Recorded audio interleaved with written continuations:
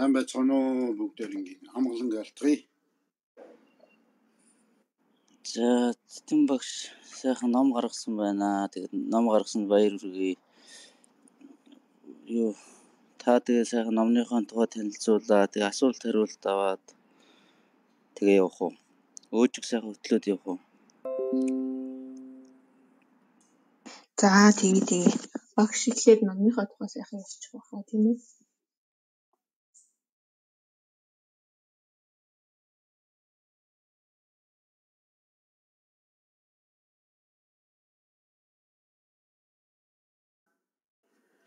За. Тэгээ номын тухай шууд одоо тайлбарлахаас өмнө яг ном уншлага уншдаг байгаа.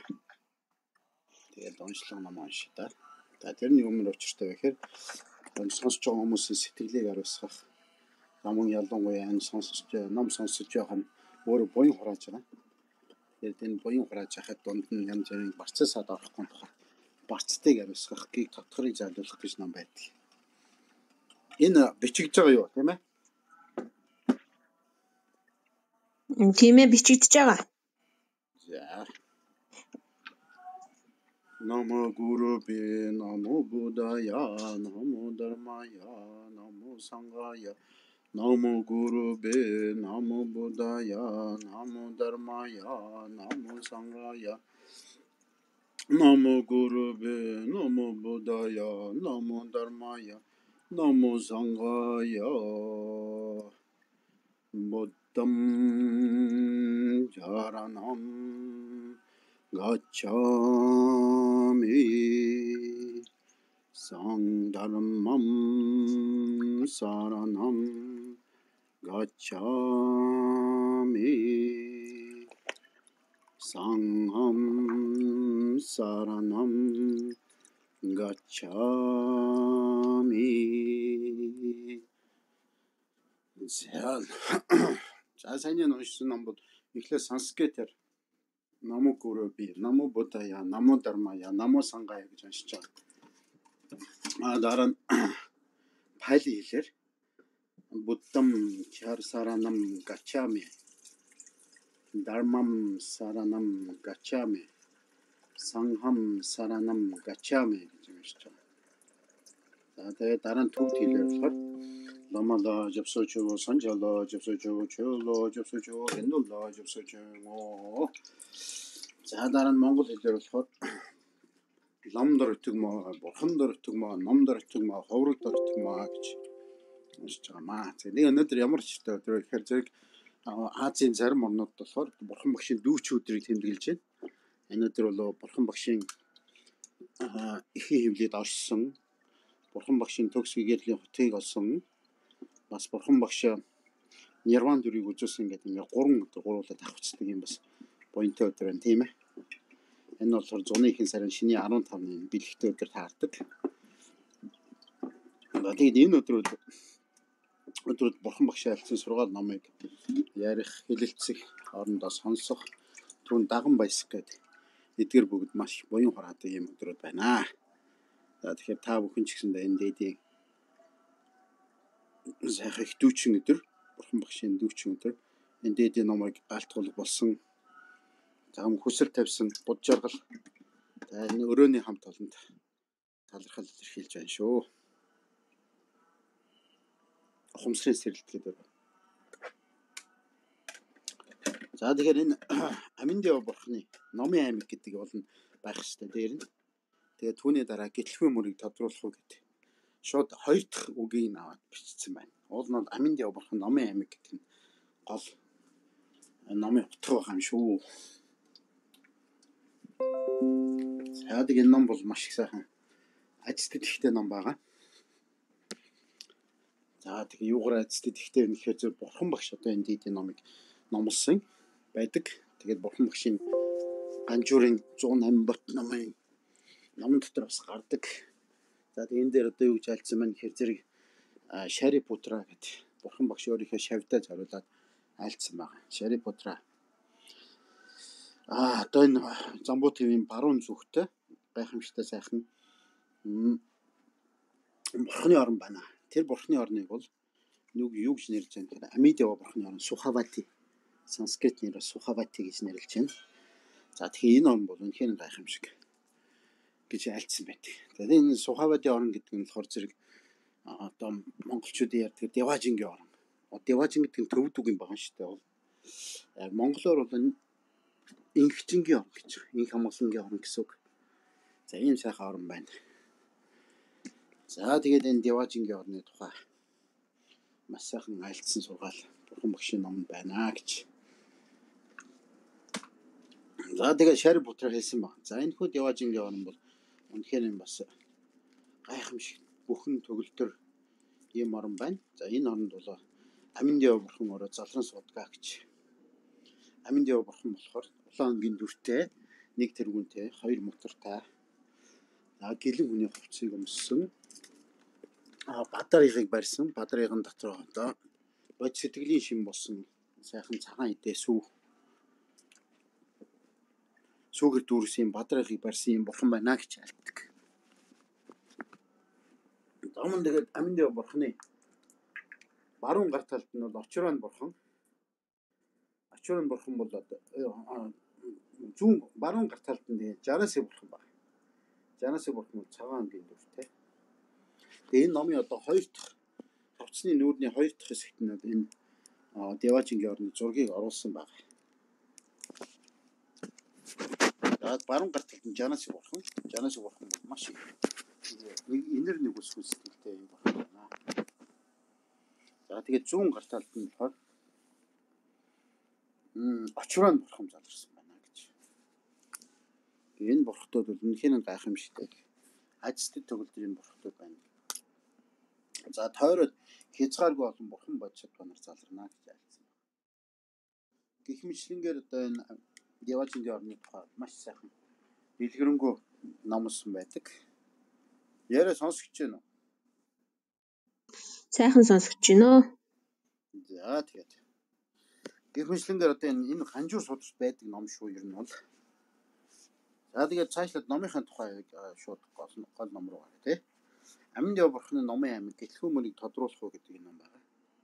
За тэгээд энэ ном бол 2011 болон 2012 онд Аминд яв бурхны бясалгал тайлбарыг эрхэмдэд гарч ирэнгүүч гэдэг. Одоо Америкийн нэгдсэн улсын Аризона мужид залран оршдог. Залран ном альж байгаа одоо 80 85 86 насыг зовлож байгаа сайхан багш байна. Энэ багш маань бол төвд хүн юм байгаа. Төвдийн хам нутагт мэндэлсэн. Аа тэгээд бэрэн гарч дүй ясны одоо 8 дахь ширээт ховлгаан дураар тодорсон ийм багш байна. За 1959 онд одоо төвдөд хятадууд давтлах үед эзлэх үед эх орныхоо төлөө одоо ам бие хайрлахгүй одоо 22 3 настай залуу бол одоо ингээд ард түмнээ урайлан дуудаад ингээд орон нутгийн их одны булан эзэлж байгаа хүмүүстэй бол тэмцсэн. За ингээд ялтчгүй одоо их хүчин давтагдчих 1959 онд нийтээр төвдөд бол эслэгдсэн. За нэг энэ үед болохоор зэрэг 22 настай залуу бол шоронд орсон баг. Ус төрийн хоригдл болж ялчгүй одоо хэлмэгдсэн байна л да. Тэгээ хятадууд маш их аа яргалал янз бүрийн маш их хүнд хэцүү бэрх ялыг тулгаж 20 жил одоо яг энэ шоронд өөрийнхөө амьдралыг өнгөрүүлсэн байдаг. За тэгээ энэ 20 жилийн хугацаанд бол тэр үед төвдийн мундаг мундаг ламнар бас тэр үед хоригдсан байдаг. Өндөр настай ч ламыг хорсон. Хувилгаан хотог тийм хүмүүсийг ч гэсэн хорсон байдаг. Тэгээд тэдгээр хүмүүстэй цуг шоронд байх хугацаанд маш их ном заалгасан байдаг. Гарч ирмэж өгшүүл ялангуяа өөр юм багш болохыг зогчингийн мастер гэж зогчин гэж их төгсгөлийн зэргийн намын хамгийн гайхамшигтай мастер Кембо Мүнсэл гэдэг ламаар маш нууц зогчингийн хувьд намыг заалгасан. Заавал өөрийн багш гарч химэд доржээ гэдэг багшаар Махамудрын хувьцыг заалгасан. Бусад олон багш нараар маш их дээдийн номууд хувьцуудыг заалгасан. А тэгээ өдөр нь ажил хийгээд шүн багш нараас ном сонсоод тэгээд бясалгадаг байсан гэж. Энэ өдөр шөнөгөө л маш их бясалгал ном бүтээл хийдэг. Ер нь бол хүн зовлон туулах тусам улам хатууж иж амун тэгснээрсээ болж одоо илүү дээдийн номыг ухаардаг. Тэгэхээр энэ зовж үзээгүй бурхан гэж юмж байдгүй маа. Нэгсэндээ хүн зовлон үзэхэр зэрэг тэр зовлон чинь өөрөө жинхэнэ ухаарал зовлон чинь өөрөө будда байдаг гэж байна шүү дээ. Бурхан байдаг а зовж үзэхгүй болохоор зэрэг хүн тэр жинхэнэ дээдийн намын нарийн өвчсийг мэддэггүй гэж байна. За энэ зовлонгийн тухай бол одоо маш их нарийн намлуудыг бурхан багш гэсэн айлтсан хойно гарсан олон дээд мэрэгдүүд ч их айлтсан гүрүүрэн бүчи буюу лом ботон жунаа бурхан ч айлтсан А мял богч гэсэндээ маш их зовлон зүдгүүрийг туулж төгсгийгээд л явахыг нэг нас нэг биеэр олсоо. Гэх мэтлэнгээр ингээд ингээд дээдсүүд маш их дээдийн намуудыг айлтгахдаа зовлонгийн тухай яг бодит үннийг маш их айлтсан байдаг шүү дээ.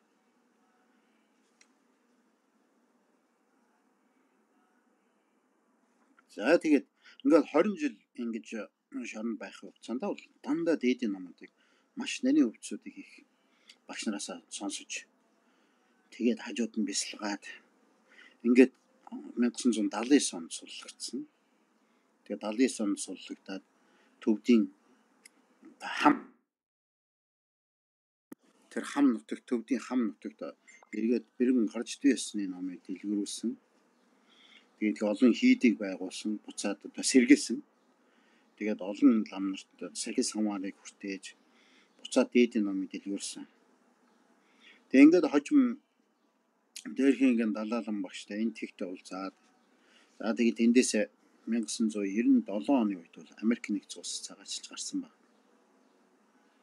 За тэгээд Америк нэгдсэн улс цагаачлж гараад Аризона мужи гэж байдаг Америкийн Аризона мужийн Chino Valley гэдэг газар энэ гарчин буддист институт гэдэг газрыг байгуулсан. Одоо 2000 оны үед. Тэгээ одоо хүртэл тэр гарчин буддист институтууд хамгийн дээдийн номуудыг маш нарийн тантрын өвч шүү дээ. Судар болон тарны өвч гэж байдаг. Ер нь бурхан багшийн айлтууд дотроос одоо хамгийн огшим нь бол тантрын ном байдаг. Тантра гэдэг нь болохоор зэрэг юу гэсэн үг? Нууц тарны ном байна. Амун судрын номыг ч айлтна. Судар тантрын номыг бол хоёулын нь айлтна. Тэгээ ялангуяа маш нарийн өвчсүүдийг дандаа айлтдаг юм багш шүү. Мэдээж олон багш нар энэ нарийн дээд өвчсүүдийг айлтдаг л да. Дээрхийн далаалан багш байна. Дээрхийн сачаарн бүчи багш байна. Дээрхийн гармаба байна. Дээрхийн чицгэн бүчи байна. Бусад гэгээчүүд байна. Одоо Монгол ч гэсэндээ манай бидний өгдөөцийн ном уламжлалыг дамжуулж ирсэн олон монгол багш нар маань байна тийм ээ. За Кушук Бакуларын бүчи багш байна. За тэгээд дараа нь одоо энэ цаг үед бол хамгийн дээдийн номыг Монгол түмэнд дэлгэрүүлж байгаа багш бол Жадорн бүч багш байна. Гэх мэтлэнгээр ингээд дээд багш нар бол Монголд морлохдоо эсвэл Монголд байгаа одоо байнгын оршин сууж байгаа саатж байгаа багш нар маань ч гэсэн байнга алдаж байгаа. За тэрнтэй адилхан хэмдээд гарч ирэн бүч багш байна бол энэ Аминд яв болох номын аймаг гэдэг номыг бол альцсан.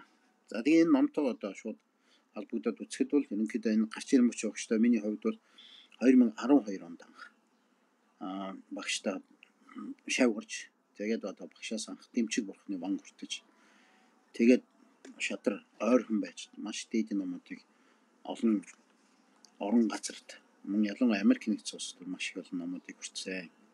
А би ганцаараач биш одоо Монголоос ч гэсэн олон лам хувргууд иржсэн, сүсгт олон иржсэн, Америк нэгдсэн улсад байгаа ч гэсэн олон хүмүүс энэ гарч ирмэч биш намайг одоо сонсдгоо замун дэлхийн олон оронд байгаа бас монгол хэлээр ярьдаг хүмүүс а бусад англи болон бусад хэлээр ярьдаг хүмүүс гэсэн дээрхийн гэн далаалан багш. Олон одоо энэ эрхэмдэд гарч ирэх мэт багш намуудыг байнга судалж яадаг, сонсч яадаг юм байна.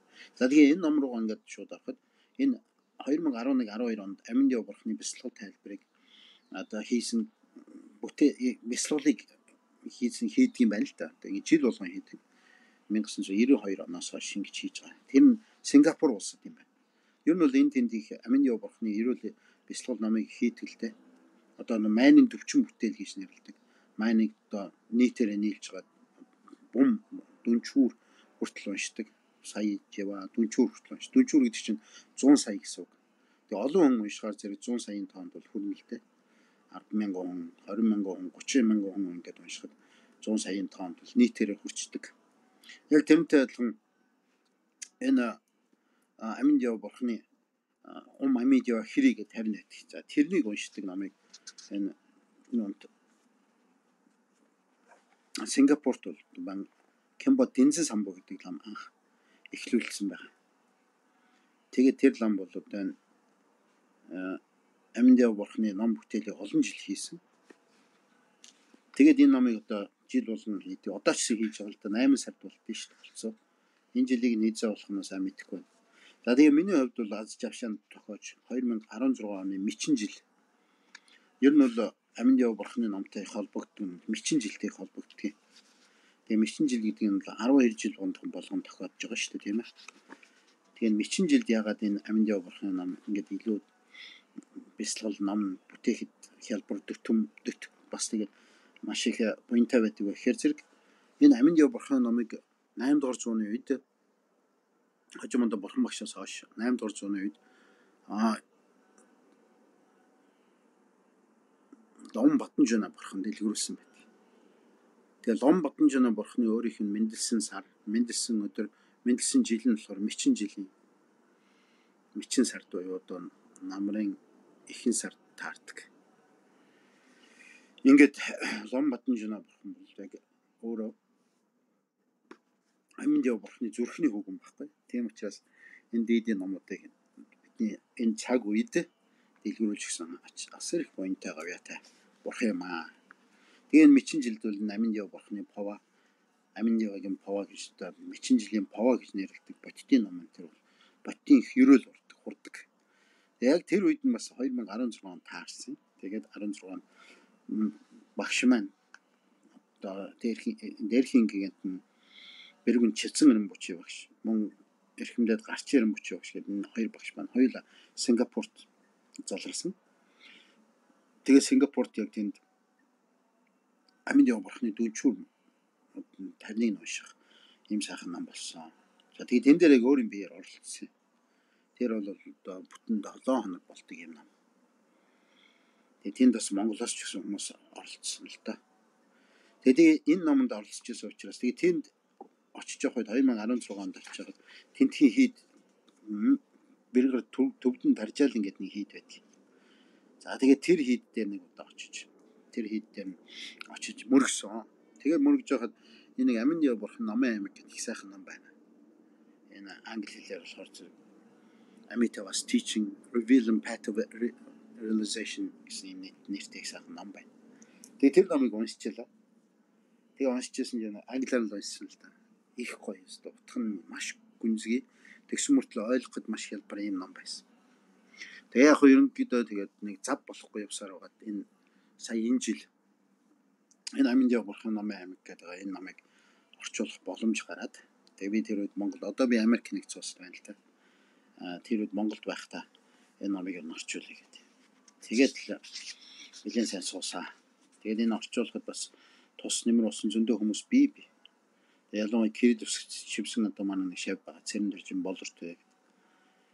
Тэгээд намайг орчуулахад ерөнхийдөө амны бурхны бясалгал болсон л доо сар гарны хугацаанд яг орчуулал хажууд нь компьютертэй шивээд л тэгэл алдаа оноо байвал тэрийг дор дорн засаал янзлал явсан.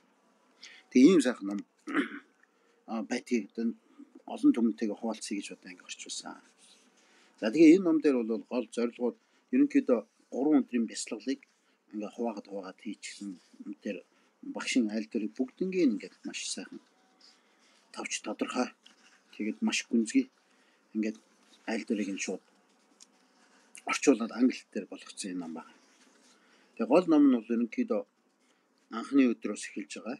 Тэгээ нэгдүгээр хэсэгт бол бурхан багшийн ном сургаал дотор олон янзын зан үйл байдаг аа. Тэгээ энэ дотроос бол хамгийн гол нь хот мандлыг бясалгах маш мэрэгэн арга бол энэ номонд байгаа. Тэр хот мандал гэж юу хэлээд байна гэхээр зэрэг биднээс өөрсний сэтгэл дотор хэрвээ бүтээж чадах юм бол сэтгэл тэр хот мандал оршдог. Тэр амин дэв бурхныг бидний бүтээхин тулд яах вэ гэхээр анханд нь амин дэвгийн ван тэргүүднийг багшаас авах хэрэгтэй. За тэгээд амин дэв бурхны ванг авахд эндээ тэр хот мандлын зан үйл бусад бүх зүйлүүдийг багш сайхан тайлбарлаж өгдөг. Энэ ном дээр альцсан байна. Ерөнхийдөө зарим хүмүүс бурхны номын утгыг хялбархан ойлгодог. Зарим нь огт ойлгодоггүй. Ерөнхийдөө номын утга ерөөл бүтээл зэргийг бид ухаарахад Бурхан багш гурван хүчийг төгс бүтээхийг зарилгыг айлтсан гэж. А тэр гурван хүчийг сайн ухаарах юм бол ганц майныг уншсан ч гэсэн гурван хүч бүрэн төгөлдөр болтгоо.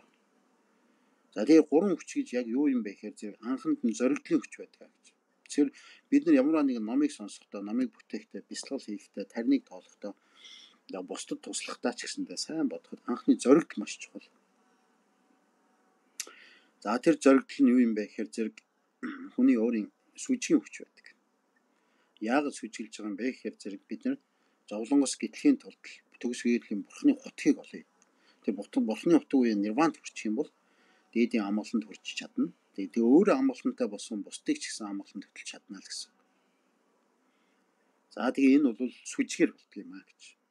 Нэгдүгüүрт нь маш сүжигтэй байх хэрэгтэй. За хоёрдугаарх нь датагада буюу бурхтын хүч байдаг гэж. Датагада гэдэг нь юм бэ гэхээр дэвшин шивгийн юм бо. Дэвшин шив буюу түүнчсэн заларсан бурхан бүгдэд маш хүч байна. Тэгээ тэр бурхан бүгд хайцсан байг бол одоочсон байгаа.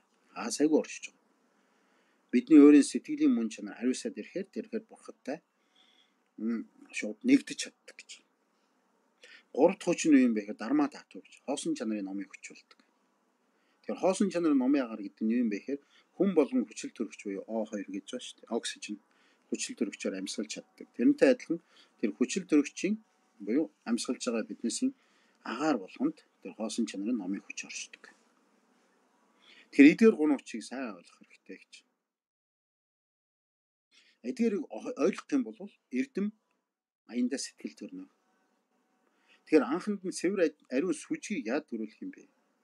Тэгэхээр анханд нь бурхны эрдмийг сайн сурах хэрэгтэй. Бурхны эрдмүүдэд ялангуяа бурхан багш айлцсан сургаал ном дотор судар болон тарны ясны номод эдгээр бүгдд маш сайн багшиг болоод тэр багшаасаа багш нараас олон ч байж болно л доо.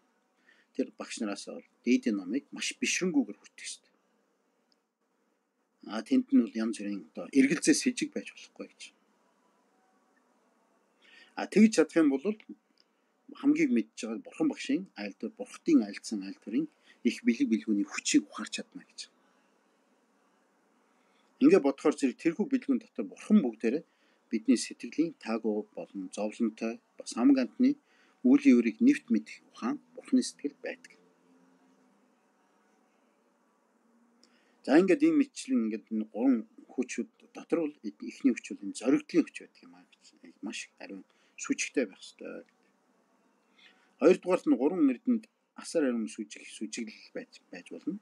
Энэ бол маш чухал. Энэ үе юм бэ гэхээр зэрэг бурхтын эрдэм тэдгээр бүгдэд маш бишрэнгүйгээр хандаад тэг хамаг амтанд асрал хайр нэгүсний сэтгэлийг үүсгэх ёстой. Тэгэхээр бидний оюун санаанд юу хамгийн чухал вэ гэхээр зэрэг хамаг амтныг л үнэхээр асарч хайрж хайрлж энэр нэгүсэх сэтгэл ургалж төрж явах юм бол бидний бие гэж бодсон өөрчлөнсөн сэтгэл аяндаа хариуцчихдээ. Тэгээ бурхан яагаад хамаг амтнд асрал хайрын сэтгэлийг төрүүлж бурхан болсон юм бэ гэхээр их хүмүүн ганц хүүгэнтэй байвал тэр хүүгэнд асрал хайрыг ямар ч зоригдлгүй төрүүлсээр байдаг. Өдөрч тэр шонч тэр өвдсөн ч тэр жаргалтай байсан ч тэр дандаа асрал хайрыг төрүүлдэг. Тэгвэл тэрнтэй адилхан бурхан багш. Бурхан багш бид авралыг одуулсан ч бай өгөөч бай бид бурхтын хайранд өлгий дүүсээр байдаг гэж альцсан байна. Энэ бол тий ойлгоход маш хялбархан бөгөөд бас бясалгахад бас хялбархан юм арга. Гэх мэтлэн ингээд сайн бодох юм бол бурхтын хайр энерги биднийг ёстой нэг үр хөөхт нь өөрийнх нь хайртай хөөхт нь хичнээн олон янзаар янз бүрийн аяг аашиг гаргаж тэгээ өөрийг нь хүртэл зодож цогч хазж явахт хүртэл их нь ууралт гүшүүд яг тэрнтэй адилхан бурхан бол биднийг ямар нэгэн сайн муу үйл хийгээд бүдэрчээсэн ч гэсэн хайрлсан инэрсэн хэвээрэл байдаг гэж. Тэгээ бид бол тэдний бурхны хайрыг бурхан болон бодсодва нарын энэ олон гайхамшигтай бурхны оронд байгаа олон бурхтын хайрыг үргэлж хэрвээ бид өөрсдийнхээ зүгээс тэдгээр бурхтад сүжиглээд хамаг амтны гэж бодсон нинжин сэтгэл төрөх юм бол тэдгээр бурхтын хайрыг мэдрэн тэр инэрхүү сэтгэлийг нь мэдрэнэ гэж. За энэ бол маш чухал. Тэгэхээр бидэнд бол гурван сүжиг хэрэгтэй. Тэгээ анханд нь бол удаан хугацааны сүжиг, сэтгэл итгэмжсэн сүжиг. За мөн дээрэс нь ариун сүжиг гэж юм гурван сүжиг байх нь хамгийн чухал хэрэгтэй гэж. Тэгэхээр ариун сүжиг гэдэг нь болохоор зэрэг ямар ч тохиолдолд бид нар одоо чухагтээд гурван эрдэнэ гэж байна шүү дээ. Бурхан ном хуургийг үнэхээр өөрт чинь таалагдахгүйсэн ч гэсэн муулж болохгүй. Тэрний горыг хизээ нэгэн цагт амсдаг. Тийм учраас өөрт үнэхээр таалагдахгүйсэн ч гэсэн ядчил муулахгүй байх нь хамгийн чухал.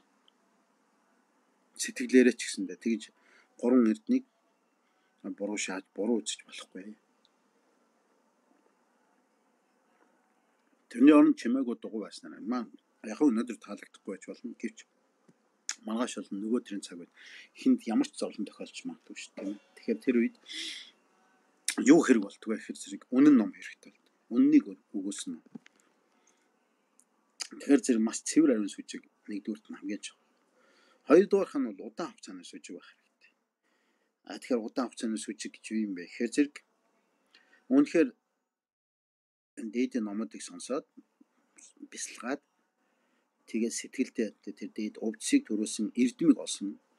Энэ цагаас эхлээд эрдэм ингээд банг банг орж ирнэ. Хэрвээ танд сүжиг байж байгаа дээрэс нь дээдийн номыг сонсох дур хүсэл байх юм бол аянда сэтгэлд чинь эрдэм төрөөд байдаг.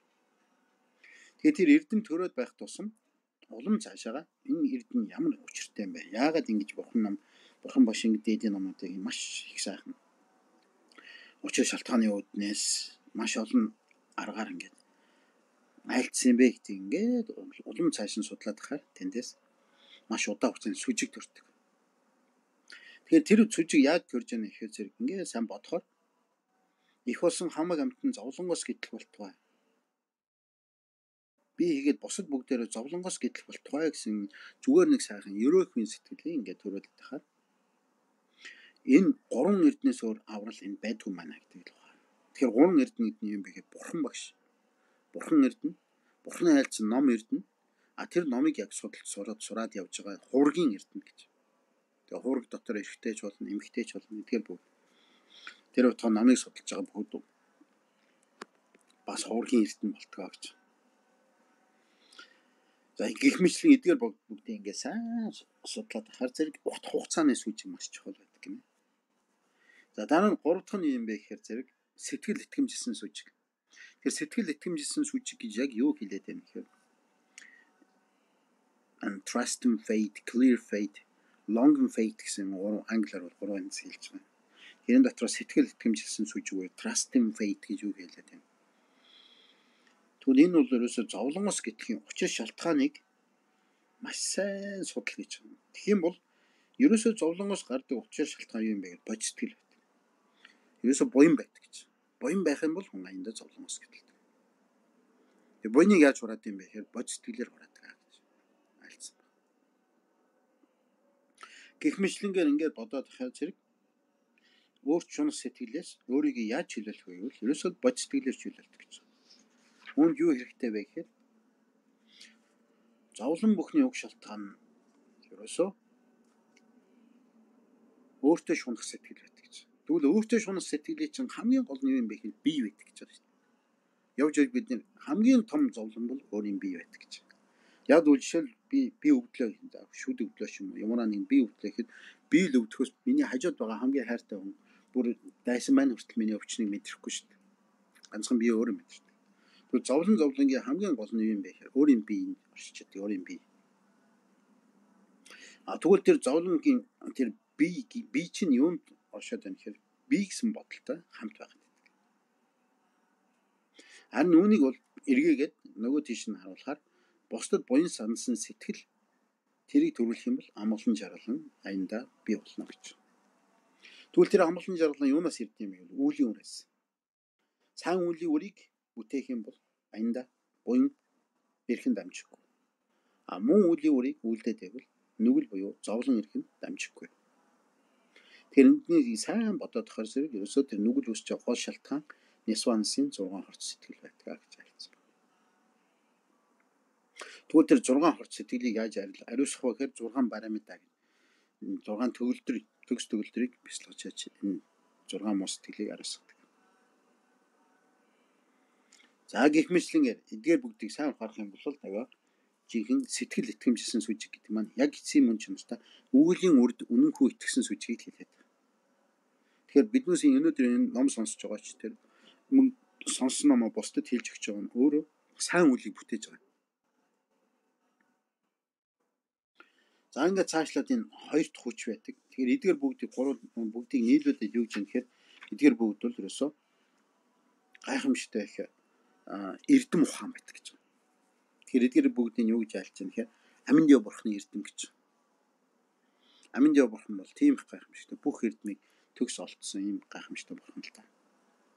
За хоёр дахь хүч нь болохоор нинжа сэтгэлийн хүч. Тэгвэл нинжа сэтгэлийн хүч гэдэг нь юу юм бэ гэхээр аа Жанас бурхнаа төлөөлсөн байт. Тэгэхээр аминд яв бурхны баруун гар талд нь Жанас бурхан заларсан байна. Тэгвэл Жанас бурхан юу илэрхийлж байгааг бол бод сэтгэлийг илэрхийлдэг. Бодит 37 гарын авлага гэж ном баг. Тэн дээр айлтгахта төгс бурхан бүгд гагцгүй бусдыг сансан ариун сэтгэлээс төрдгөө гэж айлцсан. Бусдад буян сансан ариун сэтгэл гэж байгаа шүү. За энэ бол гайхамшигтай. За дараа нь гурав дахь нь юм бэ гэхээр зэрэг бүх бурхтын хүч байдаг. Тэр хүч нь юу юм бэ гэхээр очроо бурхнаар илэрхийлэгддэг. Тэр очроо бурхан гэдэг маань аминд яв бурхны зүүн гарталд байгаа хөх үе одоо цэнхэрэнгийн дүртэй юм бурхан байна.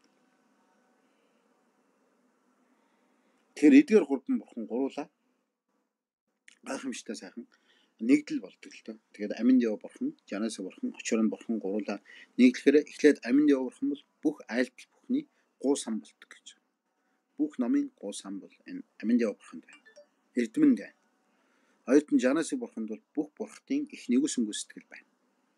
Дараа нь очроо бурханд бүх бурхтын хүч байна. За тэгвэл хүч гэдэг нь юу юм бэ гэхээр хүч гэдэг бол яг эцсийн мөн чанартай асар хөрөөлийг хэлдэг. Ерөөлч өөрөө маш хүчтэй байдаг. Жишээл монголчууд бол монгол хүн амны бэлгээр гэж. Амны бэлэг сайтай л байх юм бол аяндаа бэлгээр бүтдэг. Бүхэл юм сайхан сэтгэлээр хандаад сайн ерөөлийг ерөөж явах юм бол болно гэж. Жишээ Саманда Бадраа бурхны хүчт ерөөлд айлцсан байдаг л да.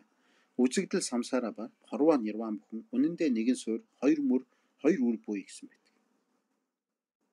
Тэгэхээр яг энэ дээр юу хэлж байгаа нэхэд Есүс очроо бурхны хүч чадалтай адилхан бидэнд ч гэсэндээ тэр хүч чадал байгаа. Бурхан бол хүч чадал бидэнд байгаа. А тэгвэл тэр хүч чадал яах ёстой вэ гэхээр тэр хүч чадал нь өөрөө амтан бүхний өөртөө шунсан сэтгэлийг ариусгах хүч бидэнд байдаг гэж. Тэр амтан бүхний өөртөө шунсан би надад ч гэсэн байгаа. Тэр би гэсэн бодлыг л үнэхээр ариусгах чадах юм бол очроо бурхны хүч чадал болсон тэр гайхамшигтай бурхан болох хүчийг би олж чадна л гэсэн. Нэгсэнд олж чадах биш яг өмнөдөө би гэсэн бодлыг хувиргаад л босод гэж бодол руу шилжүүлэхэд л тэр хүч мэдрэгдэнэ. Тэгэхээр тэр хүчийг яаж мэдрэх вэ гэж жишээлбэл бид нар хитрхи өөртөө шунаад ганцхан би би гэж бодоод их юм бол өөрийн сэтгэл яг мөсмөд хөлддөг гэж. Тэгээд л надад ямар ч найз байхгүй. Lonely буюу одоо ганцаардаж эхэлдэг. Тэгээд ганцаардлын аюулын эцсийн төгсгөл нь юу юм бэ гэхээр зүрхний шигдээс өвчин болчихж байгаа. А харин эсэргээрээ нөгөө хамаг амтны гэж бодсон сэтгэл байвал тэндээс нөгөө өөрчилсөн сэтгэлийн мөс хайлсаар хайлсаар эцэст нь ус мэт болно. Тэгээд ихэд тэр усны цад мөн чанар юу юм бэ гэхээр халуунд уусаад ууршаад ууршаад агаар болдог. Агаар агаар мандалт чиг болдог, манан болдог. Эргээд үүл болон оролдоод үүл нь эргээд бороо болдог гэж. Тэгвэл тэрний цаад утга нь юм бэ гэхээр тэр мэтчлэн өөрийн сэтгэлээс үргэлж одоо хамаг амтны гэсэн инэрсэн сэтгэл байх юм бол тэр инэрхүү сэтгэлийн хүчинд бидний өөрч унах хүмүүс хайлсаар эргээд хоосон чинарын агаарт олон бурхтын хүчтэй нэгдээд эргээд хамаг амтнд бороо болж орно гэж байна. Бороо болж орно гэдэг нь бороонд дургүй хүн байхгүй шүү дээ. Их оруул жоохон тийм удиртай л хальтаа. Энэ нь баг зэргийн бороо гэдэг байнгын цаг цагт нь үе үед нь улирал улиралт нь орж ивэл бороо маш сайх. Тэр борооны хүчээр газар дэлхий хөрс сайхан дэвчин тэрнээс ногоо урган ногооноос мал тэрийг малын мал тэр ногоог сайхан шин ногоо гэдэг. Тэгээд эргээ мал тарга твэрг аваад эргээд бид малынхаа буйныг эдэлж байгаа шүү дээ. Сүүг нүүж, махан идэж чинь тийм ээ. Гэх мэтлэнгээр энэ бол цаанаа бол маш нарийн альцсан. Тэгээ бидэнд бол гурван хүч, гурван хүч гурлаа байна. Нэгдүгээрт нь эрдэм ухааны хүч, хоёрдугаарх нь инжин сэтгэлийн хүч, гуравдугаарх нь хөрөөлийн хүч гэж. Энэ гурыг бол маш сайхан альцсан. Тэгээ эдгээр бүгдийг сайхан ухаарад ирэхэд анд номын суур тавигдана. Гин нөгөө гэгэрлийн эрдмийн суур тавигдана гэж. За ингээд цаашлал гурван эрдний уг язгуур чанар гэж юу юм бэ гэж. Гурван эрдэнэ гэж юу хэлж байгаа юм? Бурхан, ном, хувраг гурвыг хэлээд байгаа. Тэгэхээр эдгээр үн язгуур чанар бол ерөөсөө бурхан багш бол 84 мянган намын цогцыг алдсан гэж байна. Тэгээд ганжуурын тэр олон 108 бот намыг бурхан багш алдсан. Тэгвэл тэр 84 мянган намын цогц гэдэг маань юу юм бэ гэхээр бидний сэтгэлд байгаа 84 мянган цогц болсон Нисвансын бодлуудыг Нисвансын тэр гимүүдийг нэг нэгээр нь ариусгах нэг нэгээр нь дарна үгүй болох номхруулах ийм гайхамшигтай эрдэм байна. За тэгэхээр эдгээрийг хамгийн гол суурь юм байна. Гурван эрдний язгуур чанар юунаас эхэлж байгаа гэхээр ерөөсөө өөрийн сэтгэлийн их энерги хайрлах, бусдыг хайрлах энерги сэтгэл. Тэгэхээр бусдыг хайрлахын гол утга нь юм бэ гэвэл ерөөсөө бусдын ачийг санах юм байна бид нэг ингээд сайн бодох юм бол энэ ямар ч үед ингээд сайн бодоод байх хэрэгтэй. Бодол ямар бодлыг төрүүлэх вэ гэхээр зэрэг эхлээд бусдын ачийг санах хэрэгтэй. Энэ бусдын ач гэдэг дотор аав ээжийн ач байна. Эх орны ач байна. За тэгээд энэ олон хүмүүсийн хөдөлмөрлөж байгаа тэр хөдөлмөрчин хүмүүсийн ач байна. За тэгэл байгаль орчин байна. Нар, сар, үүл, уул, ус, ургамал, ногоо гэдэг энэ бидэнд ачгүй юм байхгүй шүү дээ Тэгээ эдгээр ингээд ачийн ингээд санаад бяцлагаад ахаар зэрэг анда нэр бусад байхгүйгээр би байхгүй юм байна. А би байхгүй боллоо гэхэд бусад надуугаар цаашаа үргэлжилсээр байх юм байна. Тэ? Аврал ертөнцийн үйл ертөнцийн замбутын хүмүүний үйл үйл хэрэг ч гэсэн бидний үр хөвгтийн үйл гэсэн цаашаа үргэлжлээ явах юм байна. Ингээд бодохоор зэрэг бусдын ачийг анханд нь нас сайн санах хэрэгтэй. Тэгвэл бусдын ач гэдэг нь юу юм бэ гэвэл нарны цацрагтай адилхан. Адилхан. Тийм учраас энэ номд бас айлцсан байна л да. Энэ цагаас маргаашийн урах нарыг хүртэл би үргэлжид өөрийн бие хэл сэтгэлээр амтны тусыг буйнаар бүтээе. Энэ бол маш гүнзгий үг байна.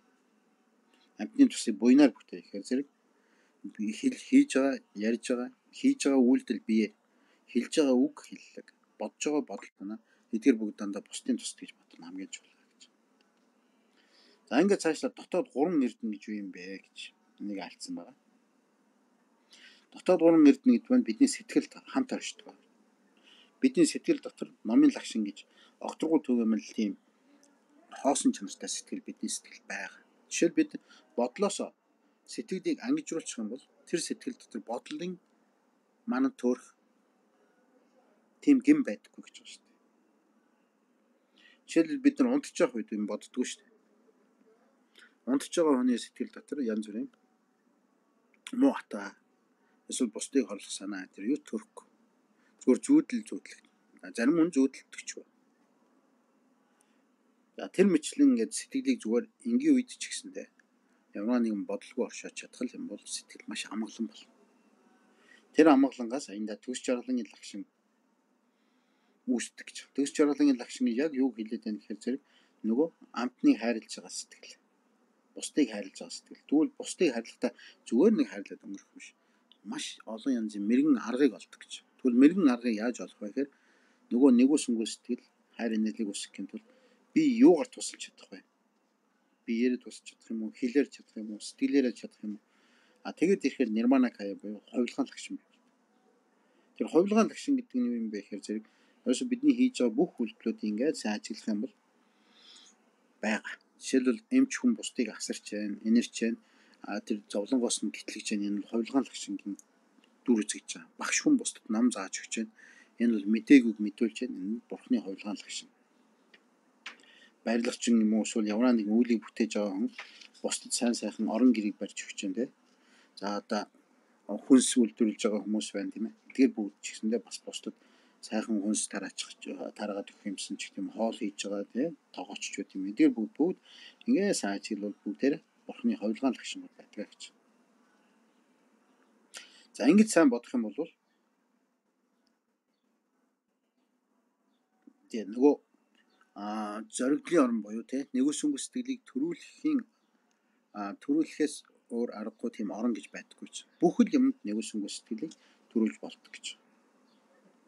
Тэгэхээр тэр нэгүсүнг сэтгэл гэдэг маань өөрөө дотоод гурван эрдний мөн чанар аа гэж байна. За ингээд цаашлаад тарны руу орж байгаа. Тэгэхээр тарны ёсон дотор ариус тарныг яаж бүтээх вэ? Ер нь бурхан болохын тулд яагаад тарны ном хэрэгтэй юм бэ? Тэгвэл тарин гэдэг бол өөрөө асар их тус эрдэмтэй. За үүн дотроос Дашил ум маны бадны хум гэдэг унших байна. Ум дарид үдээр дүүри суу хаан гэдэг унших байна. Ум базар байны хум пад гэдэг унших байна. Ум амидива фри гэдэг унших байна. Тэгвэл эдгээр таринуудыг олон дахин давталтаа унших тусам хүний өөрийн цахилгаан саран зоорн болсон тархинд мэдээлэл очиод. Тэгэхээр тархиар дамжаад тэн дээр ямар нэгэн мэдрэмж чичиргээ өгчөөд. Тэр чичиргээнээс болоод түүний бие амгалан болдог гэж. Нэгсэндээ тэр орж ирж байгаа тэр тархины бор гадрууч тийм одоо тархи судлалын эрдэмтэд маш нэрэн судалсан байдгийн тархины одоо яг боо ингэж юу вэ Тэр талаар одоо Америкийн нэгдсэн улсад маш олон эрдэмтэд янз бүрийн судалгаа хийсэн баг. Neuroscience гэж байгаа тийм ээ. Мэдрэл судлал, тархи судлал. Тэгэхээр тарин гэдэг маань юу юм бэ гэхээр зэрэг аа тарин тоолохын буян бүтээлийг зарим хүмүүс мэддэг, зарим мэддэг.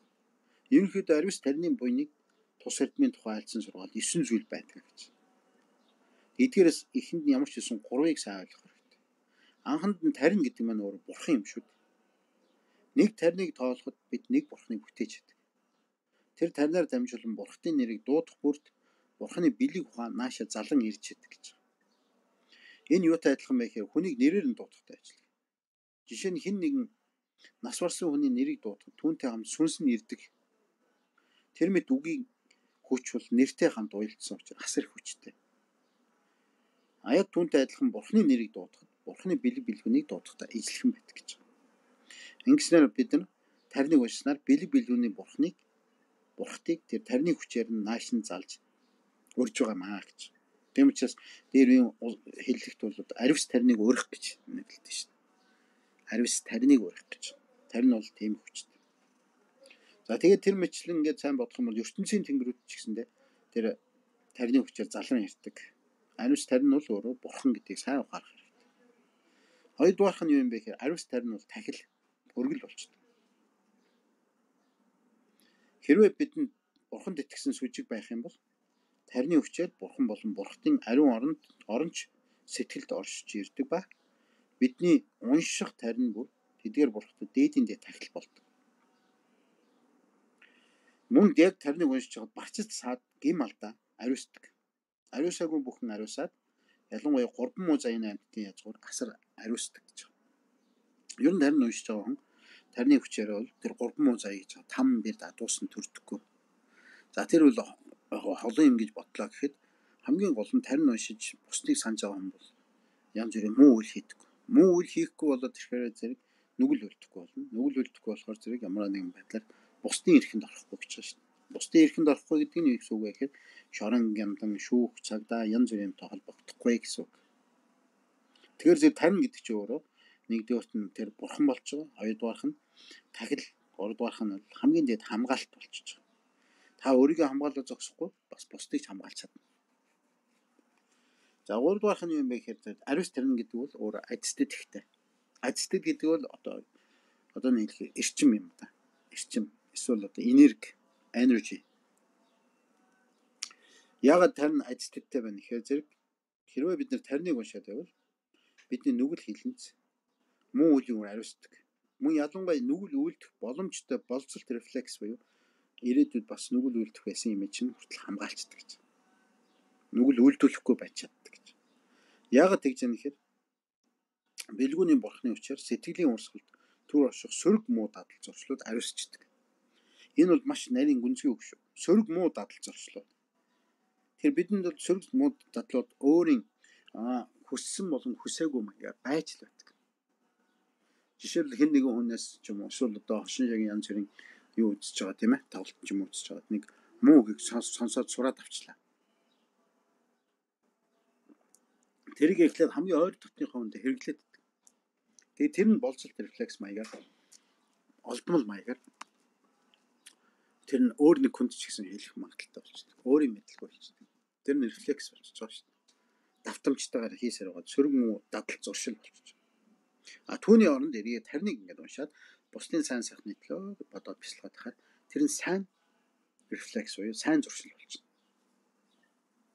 Тэгэхээр тэр сайн зуршил гэдгийг яг юу гэж хэлмээр юм бэ гэхээр энэ бол дээдийн дээд бэлгүүний бурхан бүгдийн агуу эрдэм байна. Тэгээд тэр бурханы эрдэм хүнд төрөөд идэх байхгүй. Тарин уншаад байхаар эрдэм төрдөг. Тэгээд тарин уншиж байгаа нэг дүр завгүй болчихсон. Хоёрдугаарт нь тарин уншиж байгаа байн бусдыг бодсон сансан сайхан сэтгэлтэй болчихно. Тэгээд тарин уншиж байгаа юм бол бусдыг ч хамгаалж чаддаг.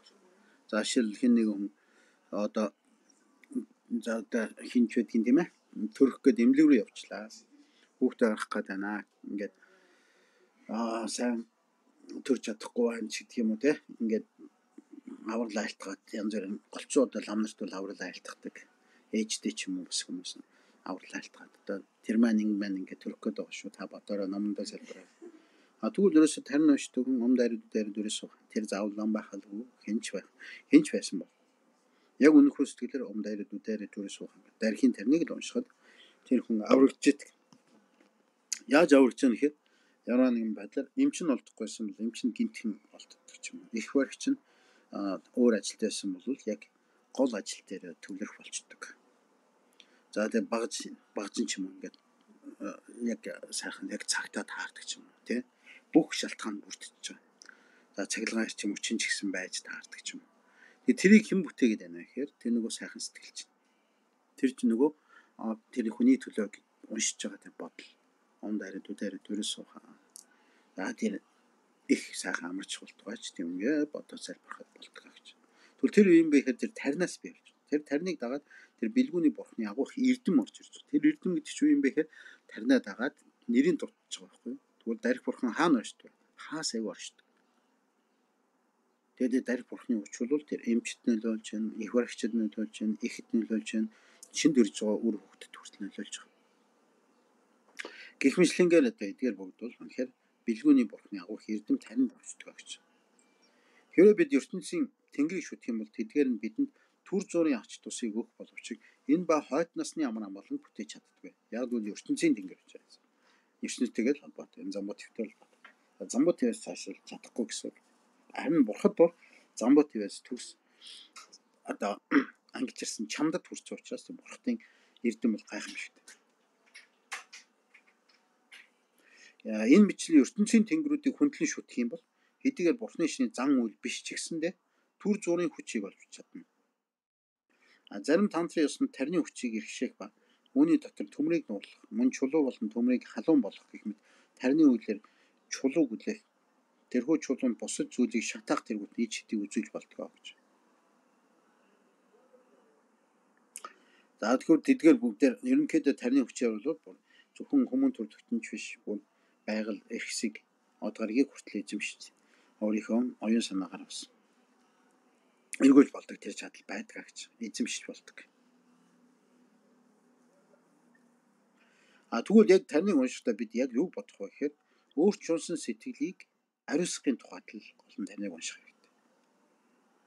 Нэгсэндээ нөгөө өөрийн дотор байгаа Нисвансын гим эрдмүүд арилах болтугай тэрнтэй хамт хамаг амтны Нисвансын гим эрдмүүд гимүүд ч гэсэн гимүүд алдаанууд ч гэсэн ариусгах болтугай. Ингэж уншаад байх юм бол бэлгүүний айц тэдийг хүртдэг гэж. Бурхан бүгдийн бэлэг ухаан бол яг тэрнтэй адилхан. Хамаг амтныг гэгэрүүлэх гэсэн санаа. Замун дээрс дээрс нь одоо энэ дээр бол тарныг олон янзаар бас тарны эрдмүүдийг дурдсан байна. Жишээл ум хануу шивари хийсүү хань. Харснаар гítэлдэг тарин гэж байдаг. Одоо жишээл бид нэр сүм дугныг харах ч юм. Их зовсон ядарсан үед ч гэсэндээ аа нэг бурхныг үзэх ч байдаг юм. Эсвэл одоо нэг сайхан арцууг бол өөрөө ч гэсэн ном уншихгүй ч гэсэн зүгээр нэг арцууг болоод ядарсан үед тэгээд арцныхаа үнэрг үнэрлэхэд тэр мэдрэмж төрж идэг. Хүчийг угуулад хүчний үнэрлийг үнэрийг л үнэрлэхэд л ерөөсөө ямар сайхан юм бэ тэр бурхны сэтгэл төрж. Тэр юу юм бэ гэхээр угаасаа таны дотор ч бурхан байдаг. А тэгээд тэрийн тэр тэр шалтгаан бүрдээд ирэхээр эсвэл нэг сайхан ариун аршааныг хүртэх ч юм уу те. Эсвэл бурхны орныг үзэх, эсвэл сүм хийдийг үзэж байдаг юм. Эсвэл нэг хин нэгэн сайн лам багш нарын айлтар сургаалыг сонсоход хүртэл нэрээ тийм шүү дээ гэд сэтгэлд яг тийм нэг мэдрэмж төрж байгаа шүү дээ. Гэлс хийгээд зурс гэж төрж. Тэгвэл тэр зурс хийж байгаа чинь өөрөө бурхантай нэгдэж байгаа нэгдэл. За гих мэтлэн ум хануу ушиварыг хийж суухан гэдэг тарныг нэг удаа харахад 300 сая галууг тураас нүгэл хилдэн царилна гэж байдаг. За мөн сүм хийдийн хаалганы дээр бол хаалганы тарин гэж байдаг. Батма усны хабимали хум пат гэдэг тарин байдаг. А тэр хаалганы доогор ингээд гарсан амтэн болгоны нүгэл хилдэн цариусч чадгаа гэж байдаг. Гэх мэтлэнгээр тарны эрдэм өвдөс бол хаасаагүй байдгаа гэж За ингээд эдгээрийг бол бүгдийг энэ бас номон дээр айлд дурдсан байгаа. Тэгээд за дараа нь бол ариус тарин гэдэг бол өөрөө сэд бүтээл болдог. Сэд бүтээл гэдэг нь одоо юу гэсэн үг вэ гэхээр зэрэг төвдөр бол ой дүв гэж нэрлэдэг. Ой дүв. Санскритээр бол ситха, сита, сиди, сиди гэдэг. За тэгвэл тэр сэд бүтээл гэж юу юм бэ гэхээр зөв юу гэсэн үг гэвэл төгс гэгэрлийн хутаг буюу бурхан болдог гэж байна шүү дээ. Тарныг уншснаар тарныг бүтээснээр бурхан болдог. Яагаад тэгэхээр Бурхны мөн чанарыг илт болгоод гэж байгаа шүү дээ. Яагаад тэгж болгож байна гэхээр бидний бие хэл сэтгэл төгс боловсрлоо боловсраад үнэн Бурхны мөн чанарт уусч чаддаг. Тарин уншиж байгаа хүн бол өөрийнх нь сэтгэлд юу ордог вэ гэхээр өөртөө шунсан бодлууд байдаг. Дандаа бусдын сайн сайхны төлөө гэж бодсон сэтгэлээр тариныг уншдаг. Ер нь ядчил өөрийнхөө гэр бүлийн хамгийн ойр дотны хүмүүсээ сайн байгаасаа, ойрынх нь ажлууд нь сайн хурдан бүтээсэй өвчтөе хүн бол өвчнөөс түргэн идгээсэй гэж тарин уншдаг. Ас хол явж байгаа хүн бол барцдаггүй байгаасаа гэж тариныг уншдаг ч байдаг юм те. Э, гих мэтлэнгээр тариныг уншиж байгаа хүн бол аштын амгалан болно. Агшин зургийн амгалан үргэж бүтчихэд гэж. А ингэж бас тарныг уншсанараа хожим анхны бардуу гэж байна. Одоо э, бид бид өхийн цагт бол тэр анхны бард буюу анхны зуурд руу шилждэг. А амьд дах цагийн амьдрал дуусаад одоо өхлийн цагийн их тэр ертөнц рүү хөдгөшгдөг гэсэн үг л тэ. Хөлгөшгч байхаа ер нь оюун санаа гараад тэр өхлийн ертөнц рүү ордог гэж. Бүхний амьд амьдын цаад чамдад хүрч байгаа. Амьд байсан үеийн хумсар дуусаад а тэр үед яаж юм хэрэг амьд ахуй насандаа уншижсэн ядан бурхны тарин агшин зур бодогддог. Тэгээд санагтаад ирэхээр үүлийн үрийн дадал зуршлууд сарин зүгөө болдог гэж. Амьд ахад ахуудад дадуулсан бурхны ухамсар эргээс сэргийдэг. Ийм учраас тариныг унших юм бол хилний сөрөг дадалж гисэн ариус чад гэж. Хилээр муу юм үлтгэе болж байна. Сэтгэлийн байнгын сөрөг ухамсаргүй дадлууд ариус чад гэж. Тэгээд амьд ахуул насандаа дадуулж гисэн бод сэтгэл эргээд үхийн цаг ч гэсэн эргээд төрдөг. Тэгээ бардад буюу одоо зуурд сэрдэг. Энэ мэт чинь энэ мэтийн сэрсэн ухамсар нь хожим бидний бардын үе ирэхэд ядан бурхны дүрсүүд болж ургадаг гэж. Тэгээд бурхны оронд саадгүйж орчноо. Тэгэхээр тарин уншсны тус эрдэм бол гайх юм шиг. Гайх юм шиг. Өө үгээр өгүүлэх арга байхгүй гэж. Мөн тариныг уншснаар бол өөрийн сэтгэлийн чадал улам хүчтэй болдог. Одоо өөрийн ухааны язгуураа аминд яв бурхны лагшин болгож бүрэн бүтээж чаддаг гэж.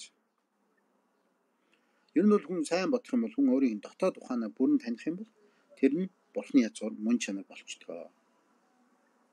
А тэрийг яаж бий болгох юм бэ гэхээр ганцхан дадлаар л бий болгох. Дадлыг хийхгүй байнгын тэр одоо дасгалыг байнг хийж явахгүй бол жишээл тарин ууших гэдэг маань нэгсэндээ юугаар бол фитнес ч гэдэг юм уу те биеийг хөгжүүлэх дасгалыг өдөр болгон ч юм уу эсвэл 7 хоногт адиж 3 удаа хийхгүй бол тэр чинь форм алдна гэж байдаг шүү дээ. Тэрнтэй адилхан бид нэр тарныг өдөр болгон л уншаад байх юм бол тэр дадал нь маш сайн дадал болдог. Тэгээ тэр дадал нь өөр аминд явахны язгуурыг бүтээдэг гэж. Яагаад бидэнд бурхад үзэгдэхгүй байна вэ гэх юм бол хамаг амтан бүхэл юмсыг орон болон эзний зүгээс үргэж хоёрт барьж байдгаас л болдог гэж. Юу гэсэн үг вэ гэхээр зэрэг дотоод сэтгэл нь бидний ямар дотоод сэтгэлдээ ямар нэг юмсыг барихтаа гадаад юмс бүхэн бидэнд элдийн бодлыг ургуулад тэрний шунлаар хөтлөгдсөн байдгаа гэдгийг мэдтгүү гэж.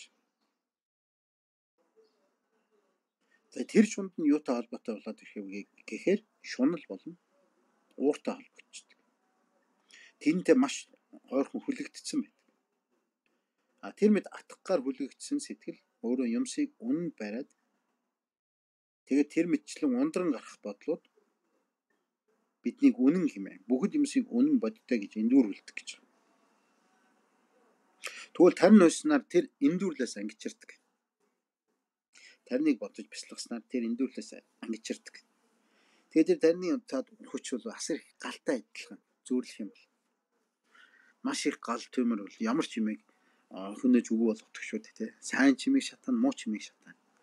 А тэрнтэй адилхан бид тарныг уншаад бяцлагаад ахаар зэрэг өөрийн сэтгэлд байгаа нисвансын сэтгэлийг маш түргэн шатаачдаг. байхгүй болгодог. Муу үлийг байхгүй болгодог. Гэх мэтлэнгээр энэ тарны одоо өвчл маш их байна гэж. Замун тарныг уншиж байхдаа би болон бусад гэдгийг хоёулыг нэг болгож бяцлах хэрэгтэй. Тэр яаж бий болдгоо гэхээр зэрэг би болон бусад гэх хоёрт барих сэтгэлээс хагацсан тэр сэтгэлийг харах тун. Тэгвэл би болон бусдад барьдаг сэтгэлийн цаана юу байна вэ? Тэр тэр юу гэсэн үг вэ гэвэл ерөөсө бодлоод байдаг. Ерөөсө бодлоод өөрөө би болон бусд гэдгийг л засдаг ухаанаар гэх юм да. Нэгсэндээ энэ минийх энэ бусдыг гэсэн ухаанаар л дандаа ялгаад байдаг. Гэтэл тэр ялгаж байгаа ухааны цаана бас нэг юм байгаа байхгүй. Тэр ухаан юу юм бэ гэхээр өөрийн сэтгэл Тэгвэл тэр сэтгэлд бол минийх гэж юм байхгүй, бусдых гэх юм байхгүй болчихдог.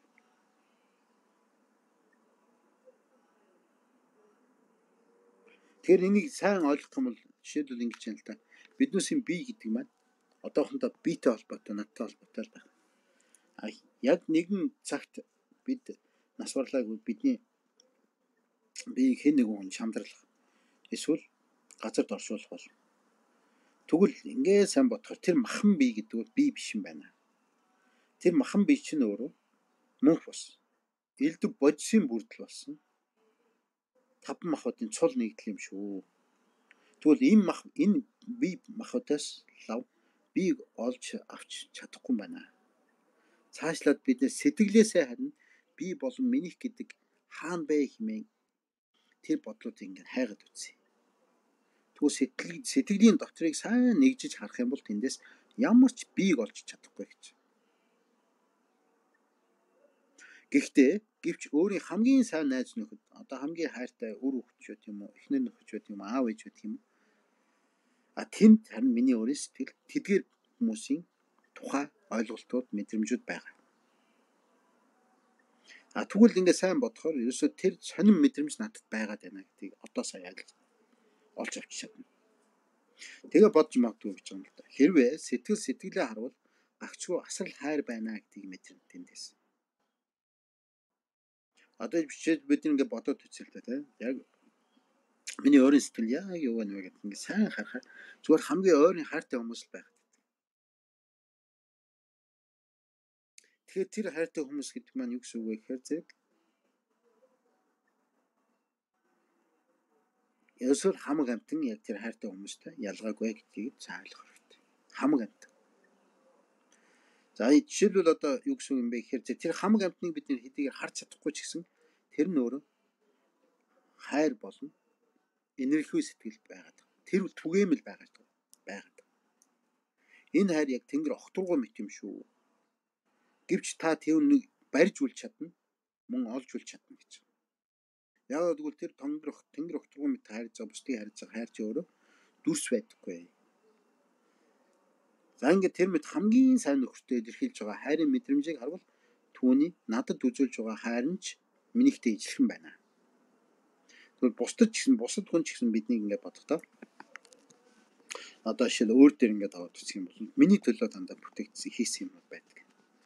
Жишээл бид нар дэлгүүрт ороод мөнгөндөө тааруулаад хамгийн үнэтэй хамгийн чанартай барааг л авахыг бодож байгаа. Тэгвэл тэр чанартай бараа хамгийн үнэртэй үнэтэй хоол хүнс хувцс хэн бүтээсэн бэ гэхээр хэн нэгэн компани ч юм уу хэн нэгэн хүнд бүтээсэн бэ. Тэр хүн юу бодож бүтээсэн бэ гэхээр хамгийн сайн юмыг л хүнд түгэх юмсан гэсэн сэтгэлээр бүтээгдсэн байдаг гэж. Тэгэхээр ингээд бодохоор энэ мэтлэн бидний хайр эргээд танд эргэж ирдгээ гэдгийг сайн. Тэр хайр инэрл бол бидний бусдыг ямар ч ялгаахгүй. Бидний бие махбод сарнж үгүй болсон ч гэсэн сэтгэл хэвээрэл байдаг шүү. Тиймээс бидний сэтгэл яг нэг.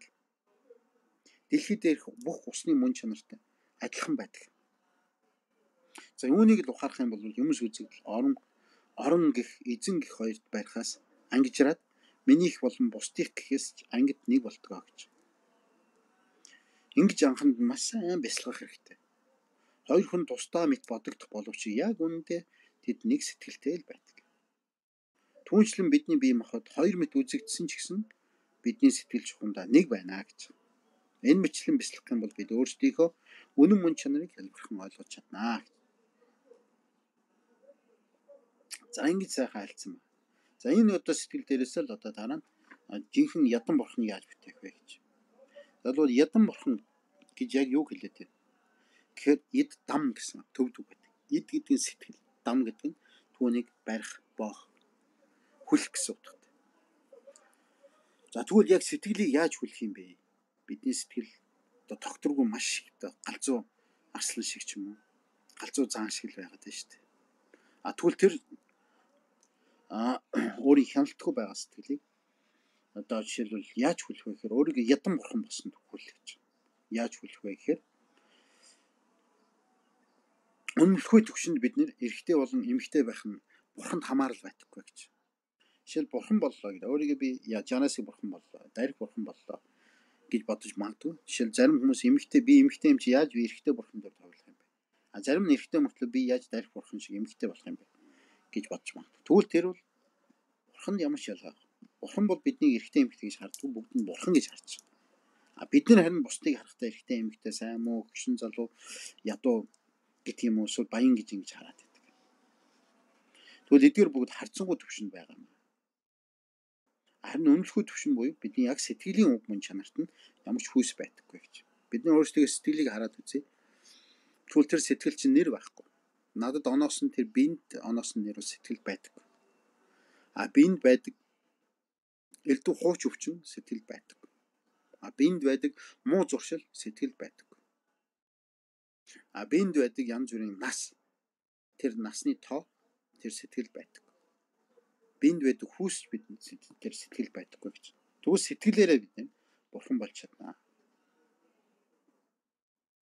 Харцангуй төвшөнд бол бидний хүүсэнд хамааралтай тэр би гэдэг оршиж байгаа болохоос яг үнэндээ үнэлэхгүй төвшөнд бол би ч гэж байхгүй, би ч гэж байхгүй гэж. Ингээд сайн бодохоор зэрэг энэ бол анханд нь ерөөсөө тэр өөрийгөө ядан бурхан болгож бясалгах арга энэ дээр шууд гарч ирнэ гэж. За энэ мэтлингээ бодоод харахаар бидний оюун санаанда оо бурхан байтугай бурханы орно гэсэн бүтээж болж байгаа биз. Ном ихтэйд хамгийн дөрөнд хэлсэн те. Бидний сэтгэл зүрхэнд бурханы орон байдгаа гэж хэлсэн. Бидний зүрхэнд орч. Зүрхний хот мандал бурхан гэж. Бид нэр хэлдэг шүү дээ. Бидний зүрхэнд их орон маань багтдаг гэж.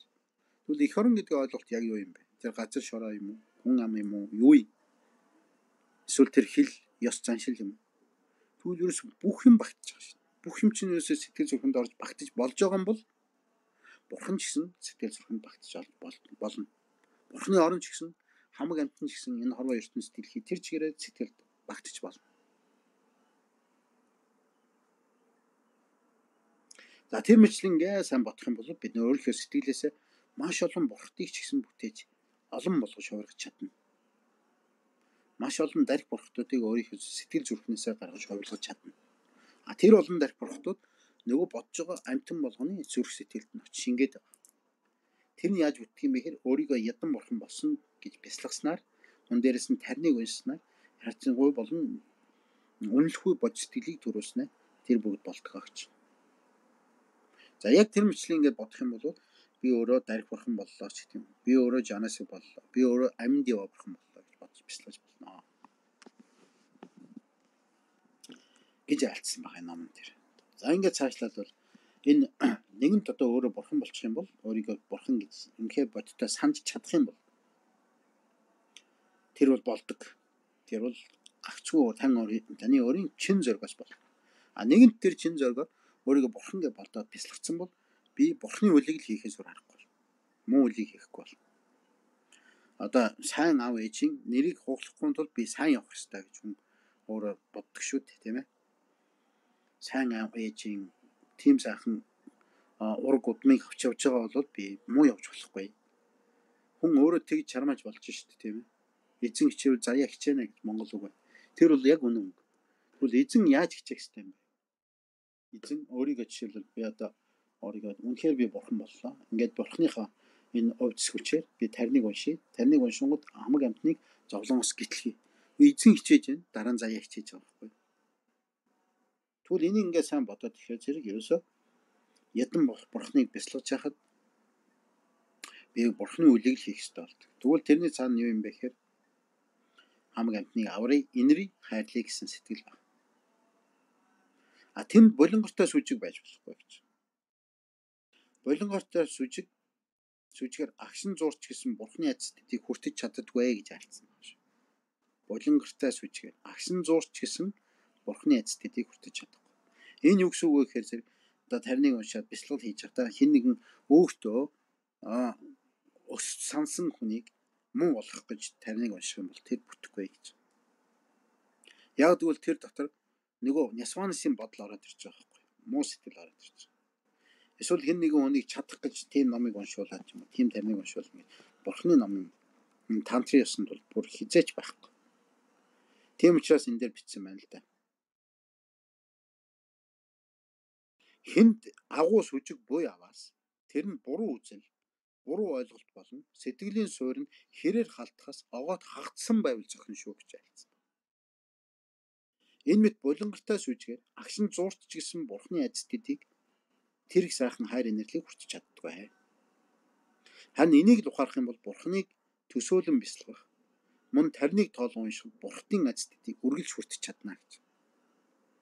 Агшин зуурч гэсэндээ маш ариун сүжгээр маш ариунхан сайхан сэтгэлээр тарныг уншихад тэр нь маш их буян болдог.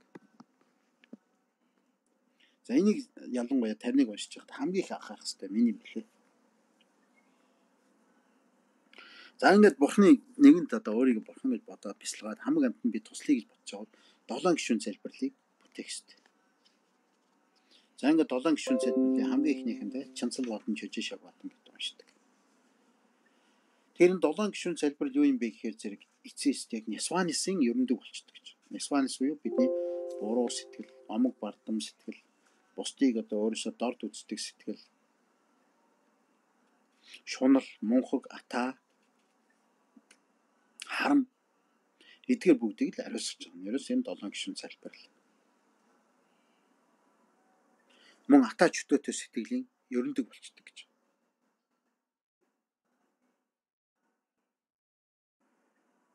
За ингээд атаа атаа атаа тэр чөтөөтэй сэтгэлийн ерөндөгийг бүтээхийн тулд энэ долоон гишүүн залбирлыг маш сайн унших хэрэгтэй гэж. За яг хамгийн анхных нь ерөнхийдөө товчлээ л та тийм. Одоо цаг маш их явцсан байна. Нэг мэдсэн нэг цаг явцсан. Долоон гишүүн залбирлын хамгийн анхных нь бурхан мөрөглийг үлддэг. Мөн авралыг одолдог гэж. Тэгээ тэр нь юу юм бэ гэхээр бидний омог бардам сэтгэлийг дарж байгаамаа.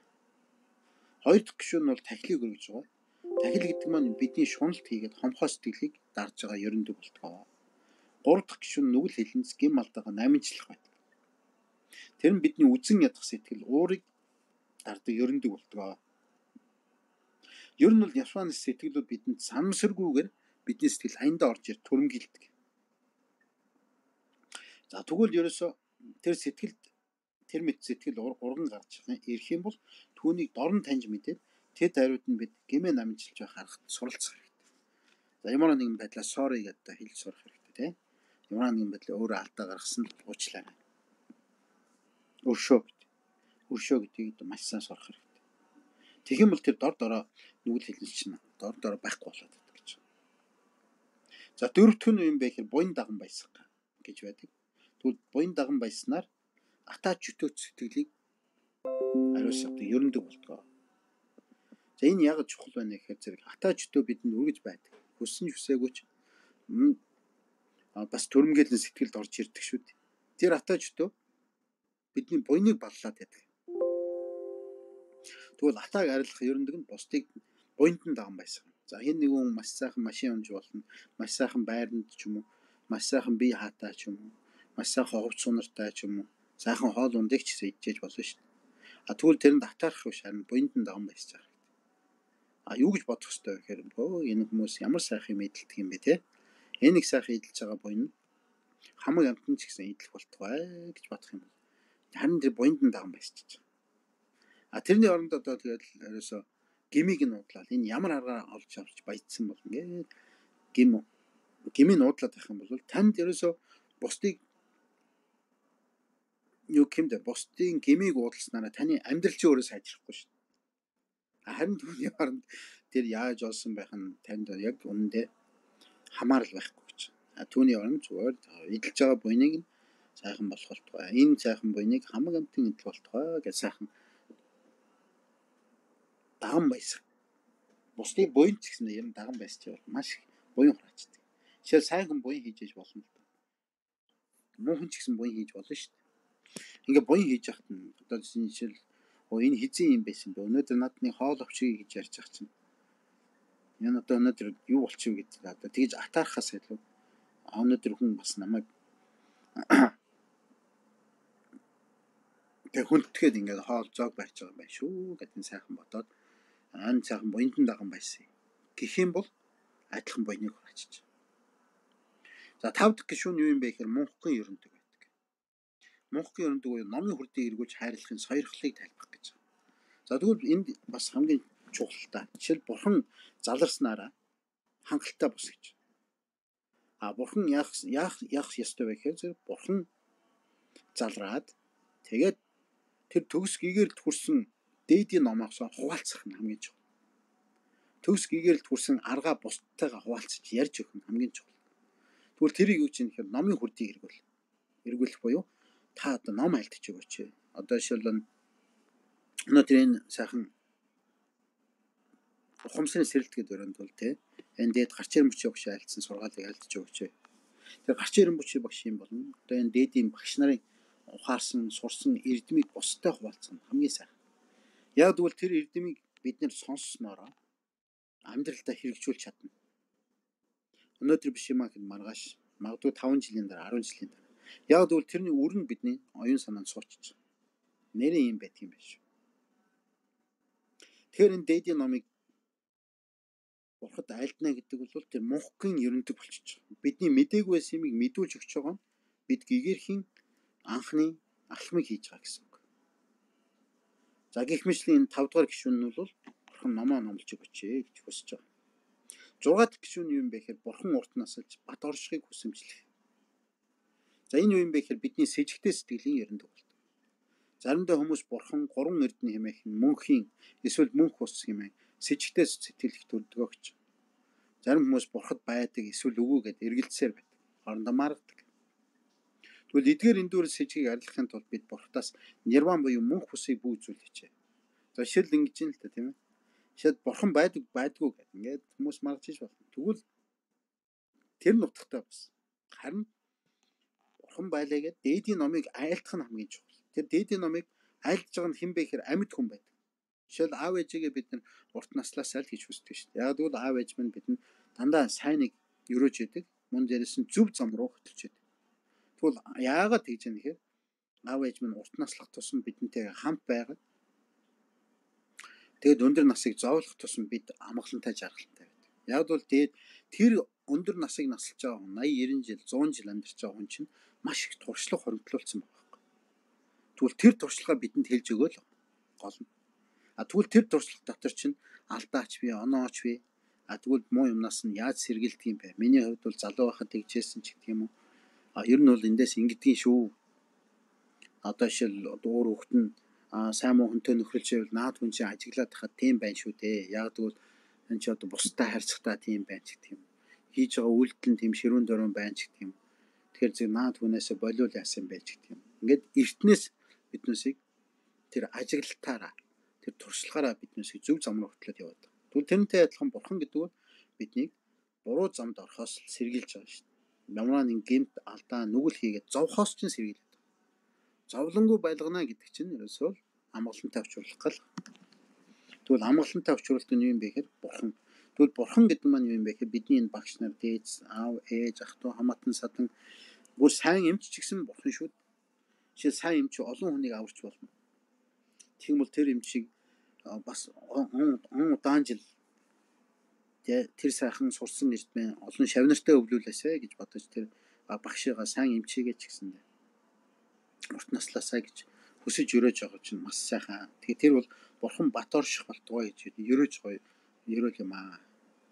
Тэгэхээр долоо дахь гишүүн бол юу юм бэ гэхээр буйны зориулга өрөөл байдаг. Энэ юуг ариусгах юм бэ гэхээр бидний өөртөө шунах сэтгэлийг ариусгах чи ерөндөг болтгоо гэсэн.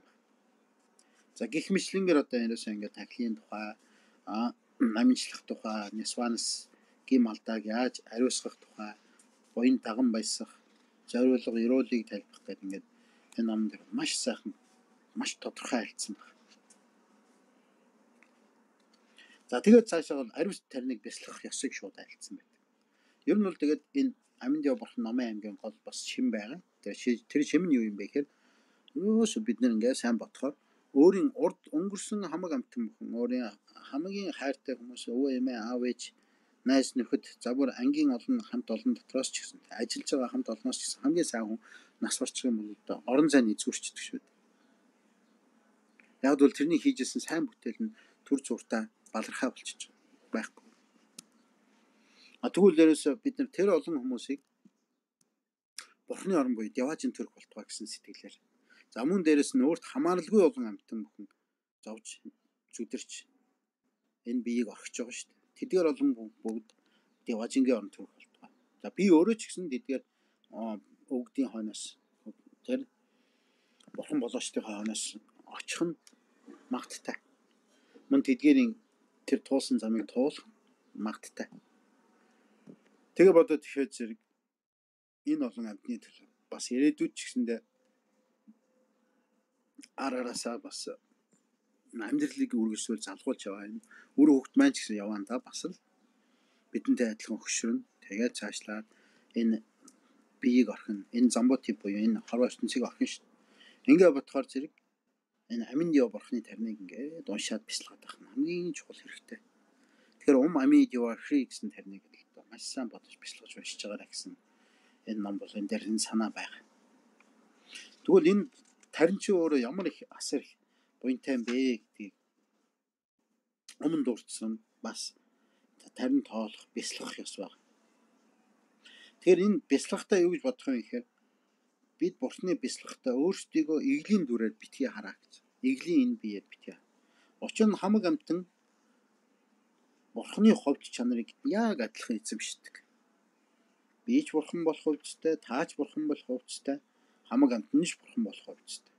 Тиймээс хамаг амтан үнэхээр нирмана кая буюу бурхтын хувилгаад юм а гэсэн дүрээр хар.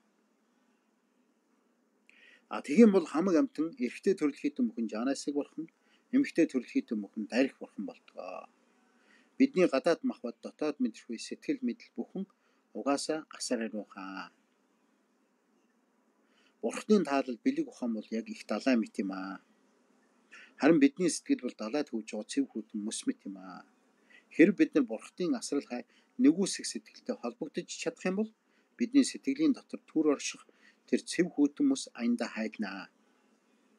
Тэгвэл энэ номын утга нь юу юм бэ гэхээр бурхад болон бурхны номыг дадуулагч хоёрын холбоо бурхан хийгээд эгэл хүмүүн хоёрын хоорондын холбооны сэтгэлийн нарийн мяндсан сэжмийг зөвхөн таринаар л ариусгах чадна гэж. Ум амид юу ахри. Тэгэхээр тэр нас барсан хүмүүс бол алга болоогүй. Оюун санаа нь бидэнд байна. Яагаад гэвэл бид зарим нас барсан хамгийн хайртай хүмүүсээ ч юм харгуйж байсан хүмүүсээ зүүдэндээ зүүдэлдэг шүү дээ.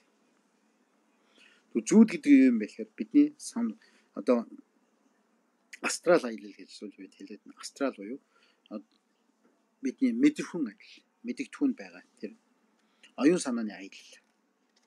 Тэгвэл тэр хүмүүсийн бие нь байхгүй болсон боловч яг сэтгэл нь байгаа. А тэгээд зайхан дуудаад тэдгээ бүгдийнхээ нэрийг дотроо санаад зүсийн санаад одоо шил дээдийн номд альдаг да урдны багш нар ч гэсэн альдаг байсан. Аав ээжийнхэн нэрийг мартал буян хий гэж. Зарим зүсийг мартаж магадгүй л олон жил болоход. Жишээлбэл багада аав ээжигээ аав ээж нь ээж нь ч юм уу дөнгөж төрүүлээд нас барсан хүмүүс байж болно. Гэвч тэр ээжийнхээ нэрийг мартахгүй шүү дээ. Аавынхаа ч юм уу нэрийг мартахгүй. Зүсийг үзээгүй байж болно тийм ээ. Гэвч нэрийг мартав. Тэгэхээр энэ дээр яагаад зүсийн гээгүй нэрийг мартал буян хийх гэсэн бэ гэхээр зэрэг тэр аав ээжийн нэр одоо овголсон байгаа овг бол мартагдахгүй шүү дээ. Хүн хөлтөл яв. Тэр байтугай чулуун дээр чинь үрт сийлэг. Тэрний тэр тэр овгтой тэр. Түл тэр аав ээжийнхэн буйныг одоо буйныг нь санаад тэр намайг төрүүлж өгсөн буян гэдэг бол хасар буянтай маа. Тэгж бодоод л аав ээжээрээ залимдуулах байдаг юм уу? Аав ээжээрээ төлөөлүүлээд хамаг амтны гэж бодоод л буян хийхэд таны буян бол цагшгүй их болно. За тэгж бодоод ум ами дива хри эсвэл ум мани бадми хум гэдэг уншихад маш их буян хураан шүү гэж альцсан байна. Яг бол тарны эрх эрх гэж нэрлэж байгаа. За зүрхэндээ улаангийн хри өсгийг бодгоч. Тэгвэл зүрхэндээ улаангийн гэрлийг л бод. А тэр гэрлийг тойруулаад ум ами дива гэсэн тарныг уншаа.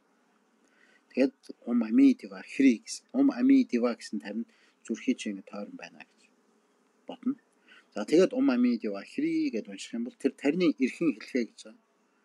Тэр тэр эрхэн хэлхээг анханд нь бясалгаад дараа нь тарныг уншиж байгаа дуу их шиг танаас гараад түүнээс гэрэл цацраад тэгээ эдгээр бүгдээс маш их буян хураадгаа гэж.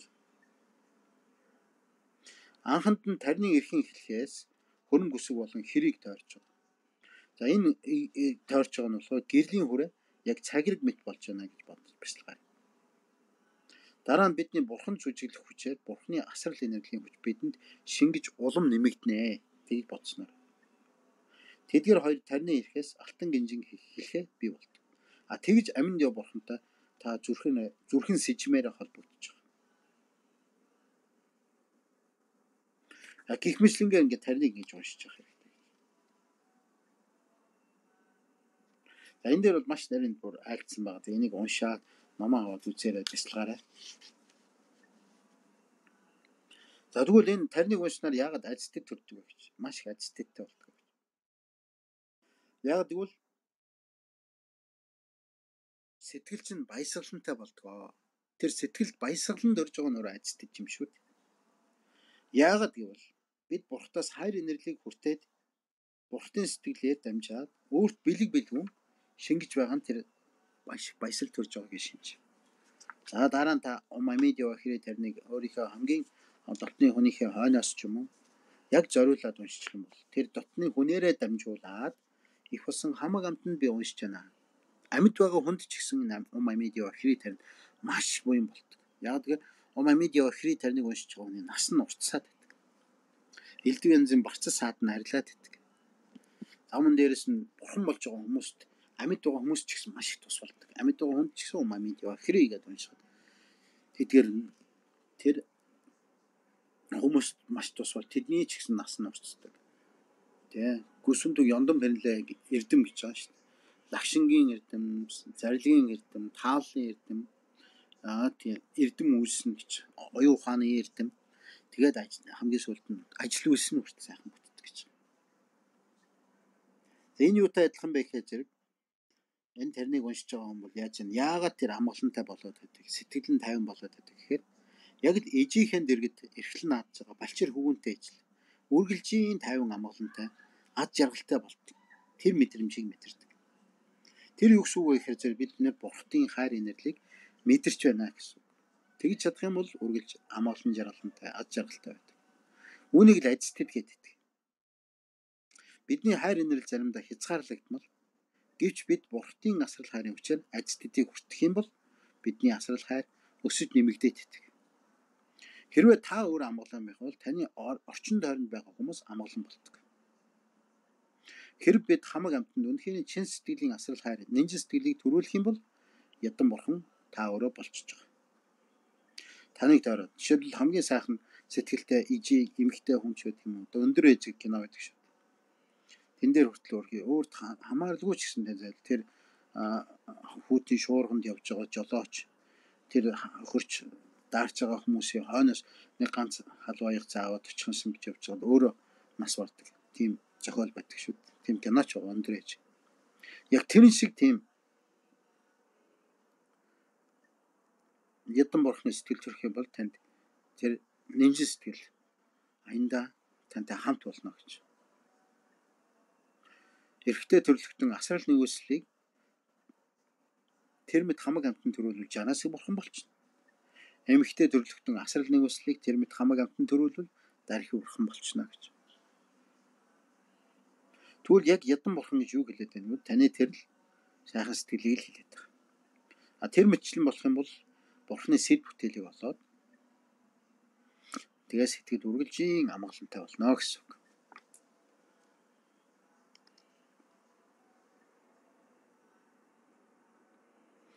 За тэгээд бурхны бяцлах тухай яаж сатаарлаг орших тухай сэтгэлийн зөв сэдлийн тухай байна. Яг бидний өөрийн сэтгэл дотор чинь ерөөсөө нэг гурван ертөнц чинь бүгд оршдгоо гэдгийг энэ дээр альцсан байна. Тэр нь яаж болж гэхээр бидний сэтгэл оюунд байгаа. Ер нь биений биед байгаа. 1 сая 200 мянга орчим бактериуд маань хэрвээ бид өөрсдийгөө бурхан гэж бодоод бусдын төлөө гэж бодохоор тэр бүгд чинь таны төлөө үйлчлээд эхэлнэ гэж ашигтай бактери гэдээ бид нар дуугаал байгаа шүү дээ. Пробиотик гэдэг уугаад байгаа шүү дээ. За мөн дээрэс нөгөө Бактерийг устгадаг эмгээ айл уугаад байна. Гэтэл яг бол тэр бүгдийг чинь гол бүгдийн дардаг нь ерөөсөө л нариустай нь өөрийн сэтгэл юм билээ шүү дээ. Тэр яаж бүтдэг вэ гэхээр нөө тунгалаг ухамсарын уг язгуураас бий өөрийгөө чихэн бурхан мөн байна. За тэгээ би d одоо энэ актийн тусыг бүтээхгүй бол өөр хэн бүтээх вэ гэд бодоод бясалгаал. Ингэж бол одоо маш сайхан бүтнэ гэж. За тэгээд ер нь бол жоохон товчхонд товчхондоо бол умаахан үсэг гэж байдаг. Ум аахум гэсэн очир тарны үсэг байна. Энийг сайн бясалгаж явал маш амархан бясалгал мөн дээрэс нь энийг маш сайн санах юм бол хизээч арилдгүй бясалгал байна. За тэгвэл умаахан очир тарина гэж байдаг. Сав ертөнцийг ариусгадаг, мөн чимийн амтан бүхний ариусгадаг, солон гэрэлд ховч болдог, хамаг амтныг бурханд хувилгаж чаддаг, хамглан болон хоосон чанарын нэгдэл болж чаддаг. Ийм гайхамшигтай тарин бол ум аах ум тарин юм аа. Тэр нь умаах ум тариныг уншснаар атгагаас хагцдаг гэж. Жишээлбэл ноён утгад данзаа арвж байгаа шүлгэнд байдаг аяа бас умаахан тарныг уншдаггүй ертөнц гэж байдаг. За тэгвэл умаахан тарин гэж одоо ялангуяа тарны ясна маш их олон олонтоо дурддагдаг энэ ном байгаа. Ийм тарны арга байна. За тэгвэл умаахан гэдэг тарин бол гэгээрсэн бүх бурхтын төгс лагшин лагшин буюу одоо бие. Бүх бурхтын бие лагшин бүх бурхтын зарлиг ном. Бүх бурхтын сэтгэл. Эдгээр бүгдтэй холбогддог тарин бол умаахум тарин.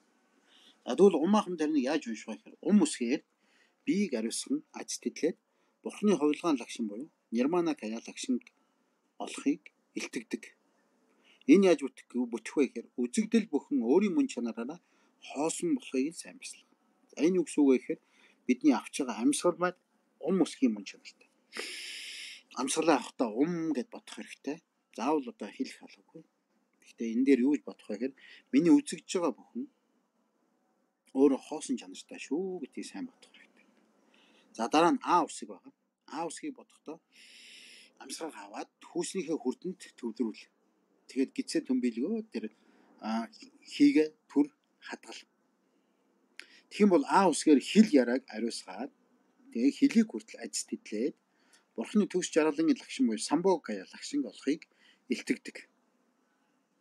Тэгвэл энэгээр яаж юм гэхээр бидний юмс бүхнийг хоёрт барьдаг шунал уурын атгаас үүсэлтэй сонсох, хэлэх, өгүүлэх дуу авьяаг ариусгадаг. Тэгээд тэр юу гэсэн үг вэ гэхээр зэрэг дуу гişиг болон хоосон чанартай. Дуу гişиг хоосон чанар хоёрын нэгдэл нь миний саяны авсан амьсгал юм байна. За тэгээд А өсөг бол бас тарин бол уншид тоолохыг Агаар илэрхийлдэг. За тэгээд хүүсэндээ тэр амьсгалаа нэлээд удаан бариад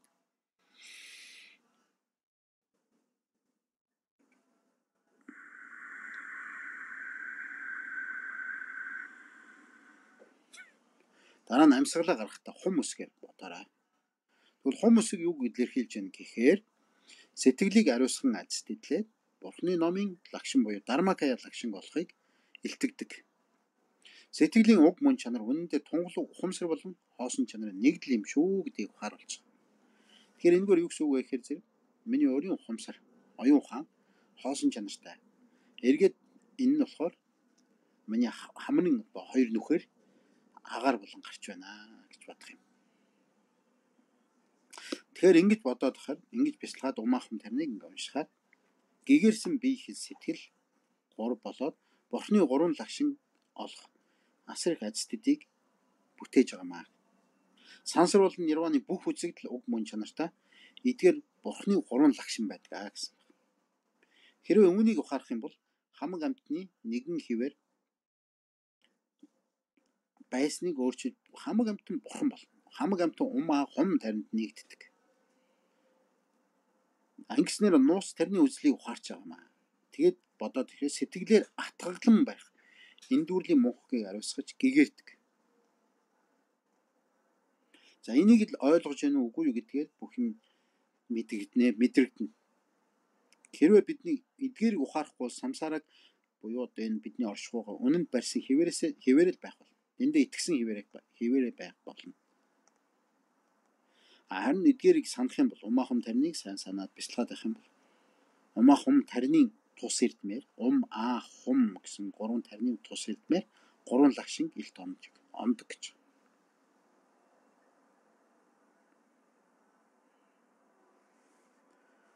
Замун ум өсгөр тахлын эд зай тэргүүтэн огторгуу сацуу дүүрлээ түглээ гэж сайн бод. Аа өсгөр тахлын эд зай бүхэн бэлэг бэлгүүний аршаан болон хуураад тэр аршааныг хүртсэн бүхэн бурхны ажилт эдийг агуу ихээр хүртэж байна. Үнэнхүү баясгалантай боллоо гэж Тэгээ энэгээр яаж юм нэхэр бүх юмс үзэхэд бэлгүүний мөн чанартай болж байна. Хум усгээр тахлын эд зай бүхэн хизээч дуусшгүй төгсшгүй яг л зах хязгааргүй их далайн мэт дээдийн тахид боллоо гэсэн. За тэгвэл энэ ум аа хум гэдгийг хизээ вэ гэхэд хоол идэх болгонд цай авах болгонд өмнө нь ум аа хум ум аа хум ум аа хум гэд ажиллаад саяныхыг бодоод үзээрэй. Тэгэх юм бол маш сайхан сэтгэлд амгалан төрнө. Мөн дээрэс нь умаа хум гэд тарныг уншаад хоолоо идэх болгондоо а цайгаа уух болгондоо дадуулчих юм бол нөгөө хоолн чунжсэн шунлыг чинь 50% наалуу болчихно. Замун тэр хоолыг идээд амс амсж явахдаа тогоочийг зэмлэх ч юм уу эсвэл хоол ундны сайн мууг зэмлэх эсвэл махан тийм байна ногоон тийм байна гэж зэмлэх тэр зэмлэх э, хин нэгний буруутгах тэр атгах сэтгэлийг чинь 50% нь алга болчихж. Яг тэгвэл тэр дээдийн ном номын хүчээр тэр гайхамшигтай эдийн ундаг бүгдийн тахил болгож байгаа шүү гэж. Гэх мэтлэнгээр нь умаа хумын бяцлагыг үргэлж хийж бяцлах жагараа гэж гарч ирмч шүүгш айлдсан байна.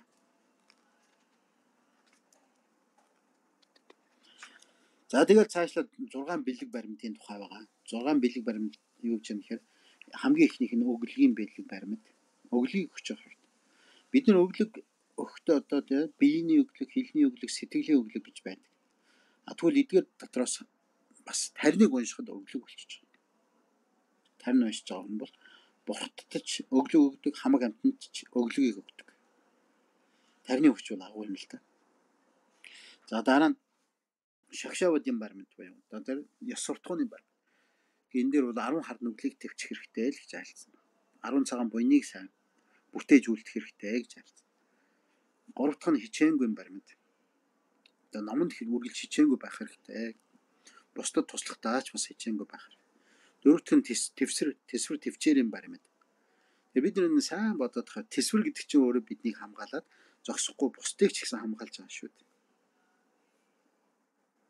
За тэгээд дараад нь тав дахь нь юм бэхээр бясалгал даяан. Тэгээд бясалгал даяаны баримт гэдэг бол дотроо гурван янз байдаг тийм. Энэ дээр гурван янзны үг гэдэг жумаа даваад янз, вавар даваад янз, дорж даваад янз гэж гур байна. Эхлээд энэ өмс үзэгдлийг дандаа хоосон чанарт болоод ингээд бодоод хахаар элбийн бий, элбийн үзэгдэл бий болдог. Тэгэхээр элбийн үзэгдлийг л ингээд бяцлагаад харин бяцлаглын гайхамшигтай мэдрэмжийг мэдэрч эхэлдэг. Дараа нь баавар доод анжин баав буюу өөрийгөө ядан бурхан гэж бодоод бахаар зэрэг тэр ядан бурханы хүчээр таны өөрийн сэтгэлийн уг язгуур хариусаад байдаг. Дараа нь дорж давууд энэ зэндан гэдэг нь юм бэ гэхээр энэ очир мэт бэлгүүн гэж. Очир мэт бэлгүүн гэдгийн утга нь юм бэ? Очир мэт одоо бэлгүүний самаати юм да. Очир мэт самаати. Тэгвэл очир мэт самаати гэдэг нь юм бэ гэхээр өөрийнхөө сэтгэлийг л маха мудра гэж байгаа. Махамудра буюу өөрийн сэтгэлийг жихэн Будда. А Будда гэдэг бол бод сэтгэл, бод сэтгэл гэдэг бол Будда. Өөрийн сэтгэлдээ жихэн бод сэтгэлийг үнэхээр чамд агуулж чадчихвал жинхэнэ баттай өөрөө тэр бод сэтгэлдээ эзэн болж чадчихвал энэ бол гайхамшигтай очир сэтгэл болдог. Очир самади бясалгал болдог. За түүний дараад нэг бэлгүүний баримт гэж байна. Тэгэхээр эдгээр бүгд юугаар бүтэх юм бэ гэвэл бэлгүүнээр бүтдэг. Бэлгүүн гэдэг маань юу юм бэ гэхээр таны өөрийн их сайхан ухаантай. Ухаантай оюун оюун нэг. Оюун ухаанаараа дандаа юмыг их сайхан мэрэгэн аргаад бусдад хорлолгүй байх нь хамгийн чухал. Тэгэхээр энэ дэр хоёр зүйлийг маш анхаарах хэрэгтэй. Бурхан багш айлцсан хоёр зүйл байдаг. Энэ эхний каруна буюу нэгүсэнгү сэтгэл. Амаг амтан дандаа нинж сэтгэлээр хандж байгаа. Хоёр дахь нь ахимса гэж. Ахимса гэдэг нь аа хүчийг үл хэрэглэх гэж. Хорлол үг. Симжала ноцой бам гэж. Ноцой бам буюу ямарваа нэг амтанд хорлолгүй байхыг л хичээх хэрэгтэй. Тэгэх юм бол энэ хоёрын буйнаар одоо нинж сэтгэл хоосон чанар бас номонд айлтдаг. Нинж сэтгэл их арга бэлэг ухаан нь бэлгүн болчдөг тийм ээ. Гэх мэтлийн эдгээр ингээд сайн бодоод хор зэрэг тэндээс маш сайхан оюун ухаантай болж хэлдэг оюун ухаан ухаан гэдэг чинь саруулсаад хэлдэг. Тэгээс саруул болоод тэгэхээр тэр саруул ухаанаар юу ч хүн амархан бүтээж болно. Сайхан зүйлийг ч бүтээж болно. Тэр утга бурхны утгыг олж болно гэж. За мөн энэ 6 баримтыг ингэж бясалгаж бүтээж бий болсноор 6 нисвансын сэтгэлийг аруулсагчдаг. Шунал туч, тачаал, уур, мунхаг, атгаг, харам, омогтой бардам сэтгэл эдгээр бүгдийг ариусгадаг аа гэж. За ингээд цаашлаа тантрын хөлөгний үлдсэн дөрвөн баримтад суралцах хэрэгтэй гэж. Энэ үлдсэн дөрвөн баримт нь юу юм бэ гэхээр хамгийн ихнийх нь мэрэгэн аргын баримт. Мэрэгэн арга.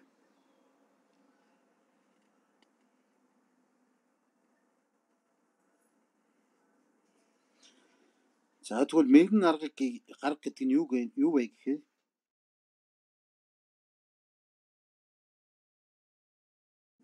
Бурхны үйлсийг дэлгэрүүлэх гол хүч. Сайн үйлсийг бүтээгч. Сайн ус. Хин тэр зовлонгийн далаагаас гарах аргыг олсон юм байна. Жишээл сансарагийн зовлонгийн далай бол өргөн бөгөд гүнзгий байдаг гэж. А тэгвэл тэр далаагаас хэн гítэлсэн бэ гэвэл бурхан багш гítэлсэн. Бурхан багш самсарагийн зовлонгоос гитлэх мэрэгэн аргыг алганы толион дээрх зураасыг мэдэх лугайд илт мэддэг. Хэрвээ бид энэ мэт мэрэгэн аргыг дадвуулвал самсааргаас гítэлж болно.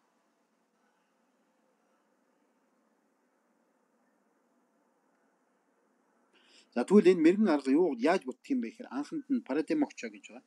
Ангид гитлэгийн хөлгөнөөр суралцаад дараа нь бодисодвийн хөлгөн буюу бодис сэтгэлийн сайтар төрүүлээ. Аа цэст нь важраяна буюу очилт тарны хөлгөний сургаалыг дараалалчлан судлаад тэгээд түүний дараа аргыг мэддэг бол э, арга гэдэг нь юм бэ гэхээр амтнд туслах мэрэгэн арга. За ингэж мэрэгэн аргыг олсноро дараа нь асар хүчийг эрхчээд гэж. Хоёр дахь баримтаа 5 ёсны хөдөлгөөний буюу 2 дахь баримтаа нөгөө 6 7 8 дахь баримтаа болчихж байна. 8 дахь баримтаа нь их хүчтэй болно гэсэн үг.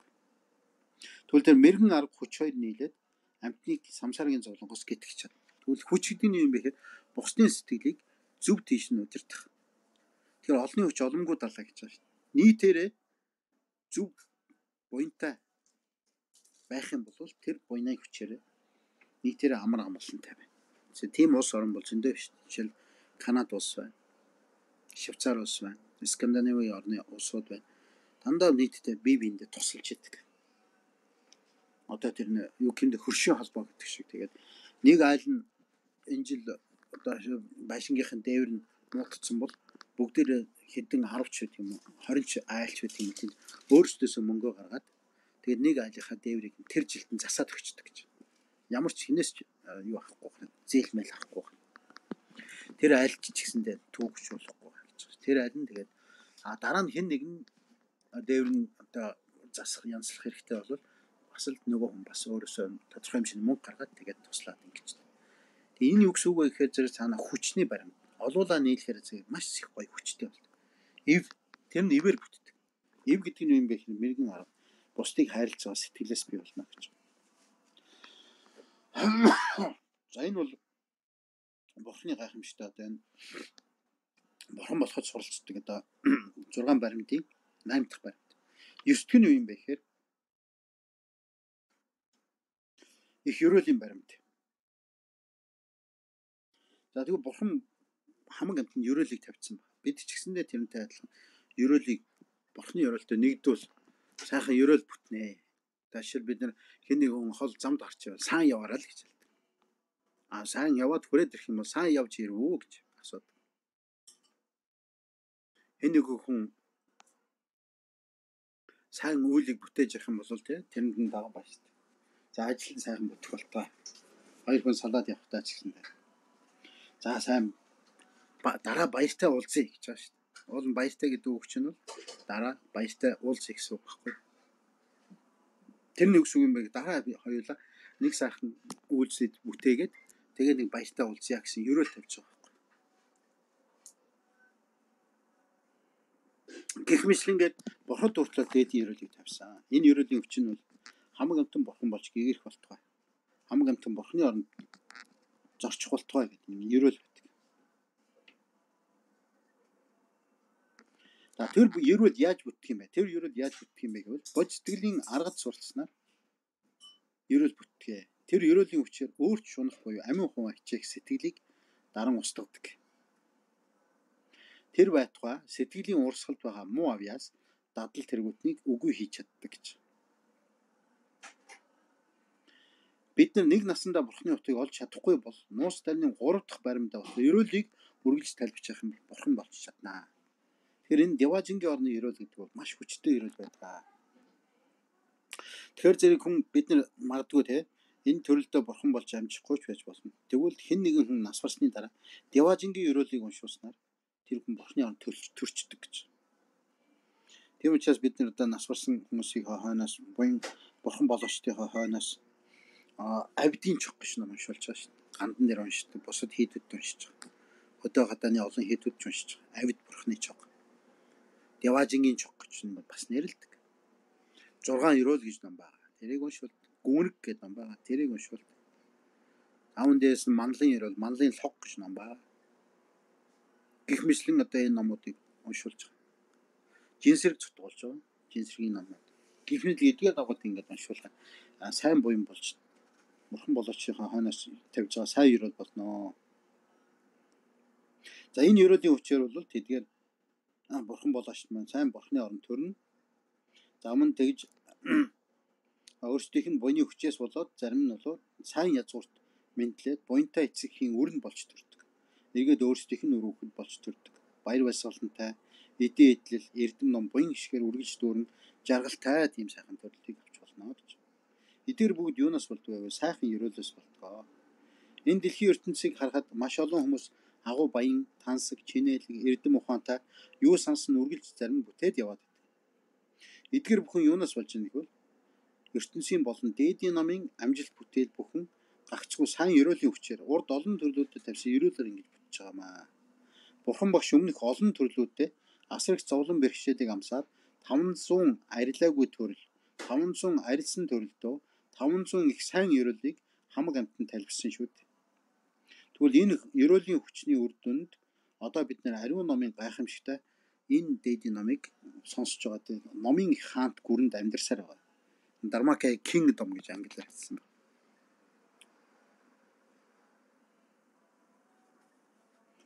Энэ дээдийн номд илэрсэн ийм сайхан орон ертөнц төрсэн байна шүү дээ.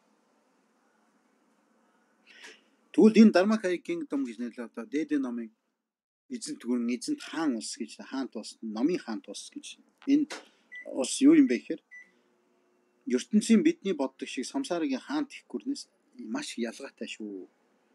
Анханд нь бурхан багш самсарагийн хаант улсын хааны хөвгөн болж мэндэлсэн шүддана хааны хөвгөн бол төрсөн ч гэсэндэ бүх дэлхийг ариун номын хаант их гүрэн болгож чадсан гэж.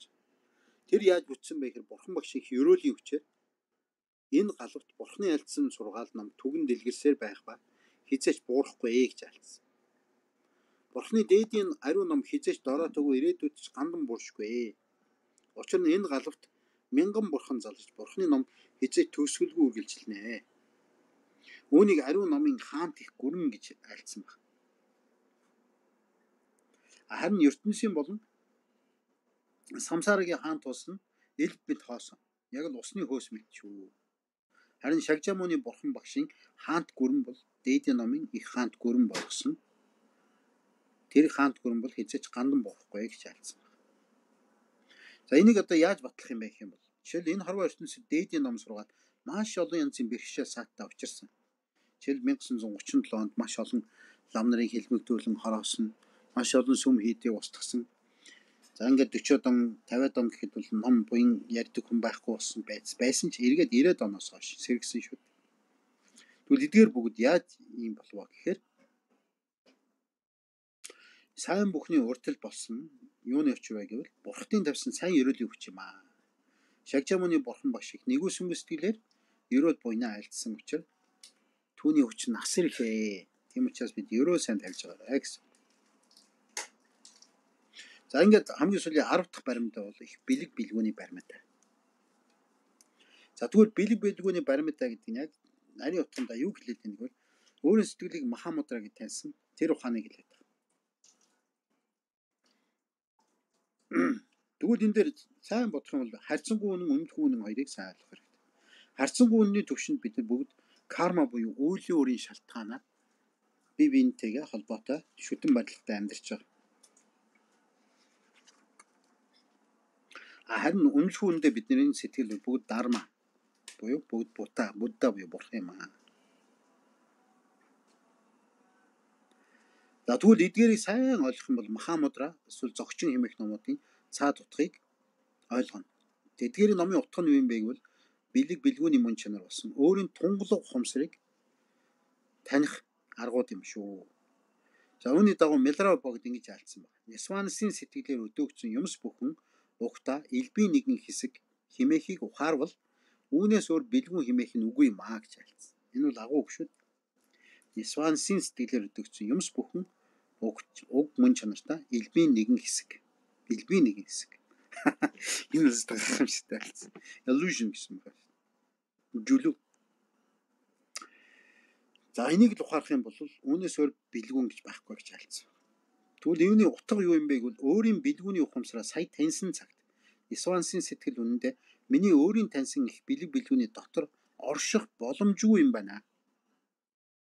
Тиймээс Нисвансын сэтгэлээр өдөөгдсөн сэтгэлийн хөдөлгөөн гихч огт үгүй бөгөөд хэрвээ ухамсар өөрийгөө таниад тэр ухамсар үргэлж маш сонор сэрэмжтэй байгаад бэлэг ухааныг тань манаад эцэст нь Нисвансын сэтгэл тунгалаг ухамсарт бэлгүүн хоёрын хооронд ямар ч ялгаагүй гэдгийг нэвт мэднэ. Үүнийг хамт төрсэн бэлэг ухаан гэж.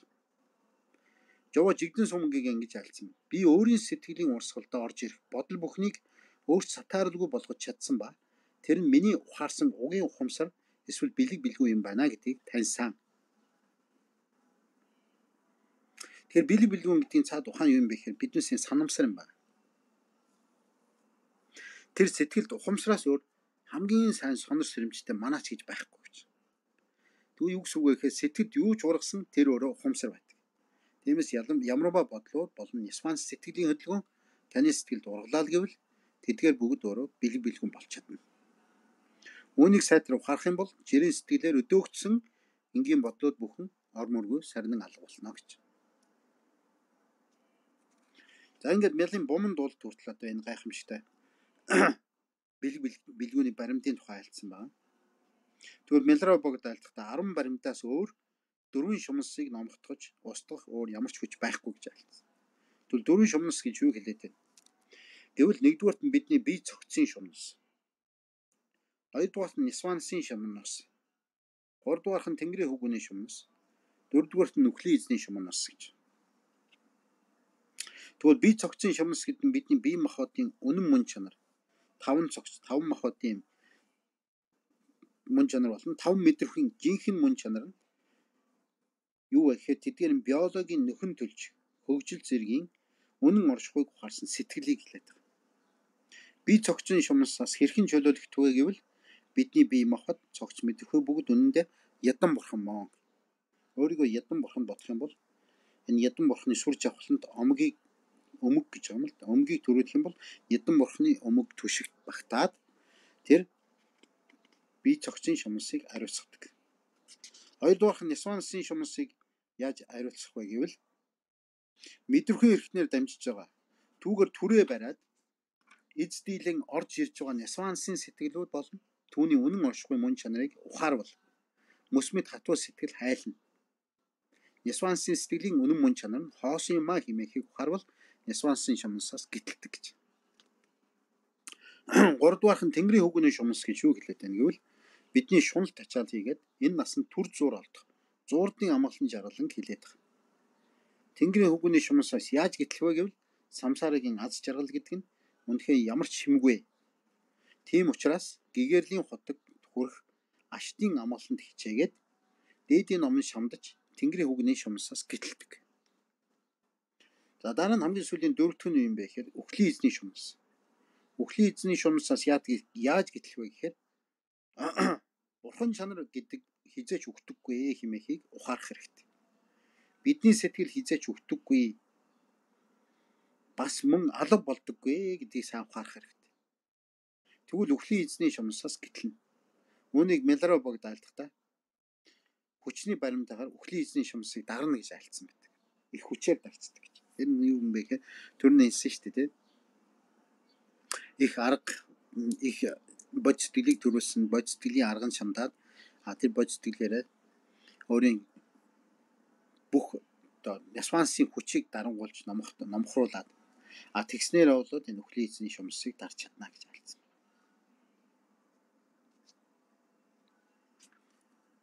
За ингээд цаашаа бол одоо гайхамшигтай альцсан. Аминд яв бурхнаас өөр ямар ч бурхан сэтгэлийн гадна оршдгүй гэж альцсан байна.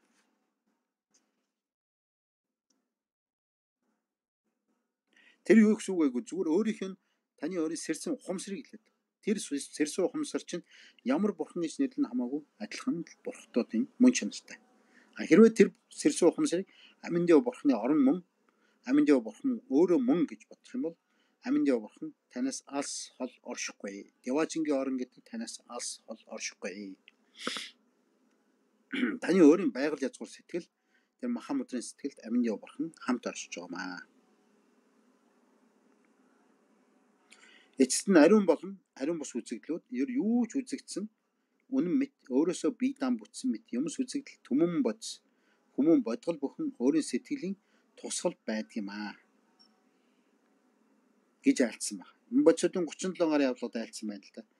Ава локтишварад мөрөг мөгч жанаас бурхан мөргийг үзэгдэл бүхний эрх хийгээд одхой чанарыг болгоон ганц амтэн бүхний тусад хичээж гэж альцсан байдаг.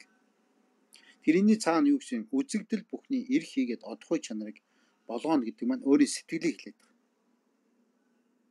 Тэгвэл сэтгэлийн харилцсан хамаарлын талаар айлцсан байна гэсэн үг. Жишээ нь амин дэва бурхан юмсын үнэн мөн чанарыг ухаарсан цагаас эхлээд өдөр шөнө алгасахгүйгээр амьтны тусыг нэгэн үзүүр сэтгэлээр үргэлж чармааж үлдээд байгаа. Тэгэхээр амин дэва бурхан бол бидэнтэй хамт байна л гэсэн үг. Хэрвээ бид амин дэва бурханы зүг өөрийнхөө нэгуурыг гэж байгаа шүү дээ тий. Өөрийнхөө сэтгэлийг тийш нь зөвлөлчих юм бол амьд явахын ч гэсэн бидэнтэй нэг болж бидний явах зам тэмүүлэл нэг болно л гэсэн үг. Очих газар ч гэсэн нэг болно. Энэ тэгээд их сайхан айлцсан ном дөө. За тэгээд ум амидио хэрэг тарныг уншихдаа бурхныг таниад бясалгасан, хураасан бүх буян чинь өвхийн цагт бардад эдгээр бүгдээ санах болно шүү Тэгэхээр аминд яв бурхны тариныг уншиж хахад энэ насанд ч буянтай а зууртын төрөлд ч буянтай дахин төрөл авахд буянтай мөн бурхны оронд төрсөн ч буянтай гэж. За дор хаяж өмнө ум амид ява хэри тариныг өдөрт 100 уншиж байгаарай гэж айлцсан байна. За тэгээ олуулаа уншаад за яд жил дөрвөн хүн нийлээд аминд яв бурхны бяцлал бүтээл хийх юм бол хотгтын төвшин хуургийн аймгийн бүрдэл болж чаднаа. Тийм учраас ингээд хамгийн амтны тусыг бодоод олуула ум амидио хэрэг тарныг уншчихвал маш сайн гэж альцсан.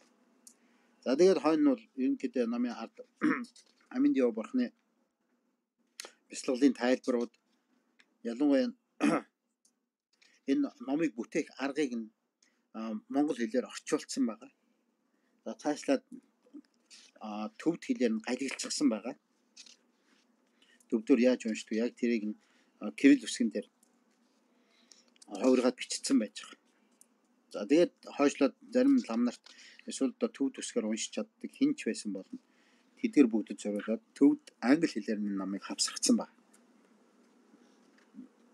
Жишээлбэл одоо Содрын 100 энэ номын 124 дэх хуудсанд одог мэжийн гомдо дэчин шинжүр шижаа баш өгсөө гэж ном байна. Амьд яв бурхны бясалгал тарин тоолох Сухавадын оронд нэгдэх хэмээх оршваа гэж ном байна. Сэтгэлийн сайн сэтлийг төрүүлэх гэх даглаа давмраа жидвийн да нодбор жидвийн гэг тарваатан тамжи чимбийн барду жодбор чидва тамжижин зоочиби ма намхаад нимби симжаан тамжи деваатан дан дуумалдан бар нэрдүүл анаа мэд яндогбор зөвгийн жанчуур имбочи тоборчаа гэд номын сайхан орчуулсан байгаа. Тэгээ номын энэ судлын орчуулгыг манай ахлам гандан тэгчлэн хийдийн гівш алтан очир ах маань бүгдийг орчуулсан. Бас энэ номыг бүгдийг хянсан байгаа. За тэгээ ерөнхийдөө ингээд ном маань ингээд ийм байна шүү. За тэгээд хойд хэсэгт нь бол Саманда Баатар бурхны их ерөөлийг оруулсан. Энэ бол маш гайхамшигт зөгчингийн ерөөл юм байна шүү дээ. Зовгооч юм буюу их төгсгөлийн зэргийг аа ухаарахын гайхамшигт ном байна. Номон дээрээс нь Бодсатбаа Бодсатбын 37 гарын авлага гэдэг ном 37 намыг ингээд оруулсан. Деважингийн орны ерөөлийг оруулсан. Гэт ингээд хойно унших, бяцлах бүх номд байж. За тэгээ ерөнхийдөө ингээд амьд яв бурхны номын амьд гэтлэхүүн мөрийг тодруулах гэдэг ном бол нэг нас нэг биендээ бид энэ номыг сайн дадуулж чадах юм бол ерөөсөө амьд яв бурхны орнд төрөхөд хол бишээ гэдгийг маш сайхан номлочихсон ном байна. Бусдад ч гэсэн уншихад маш их буян болно. За тэгээд номын талаар тайлбар сонссон та бүхэнд баярлалаа. Та бүхний буян даган баясаа. Бодийн дээд эрдний сэтгэл төрөг нэгэнд төрөх болтугай төрсөн нэгэнд нэс дараатаж улам дэшээ арвижих болтугай. Ом ами дива хри, ом ами дива хри, ом ами дива хри. За багш таны буянд даган баясаа. Баярлалаа.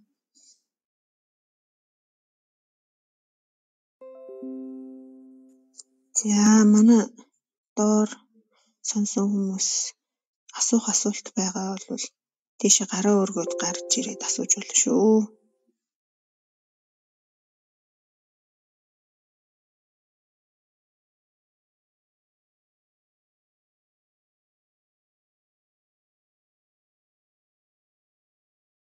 За энэ хажуугийн чатан дээр нэг асуулт ирсэн юм байна.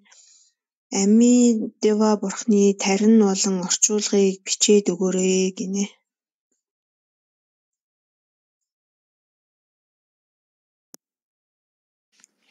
Ом ами дива хри гэсэн тарин байгаа. Ом ами дива хри. Ом ами дива хри.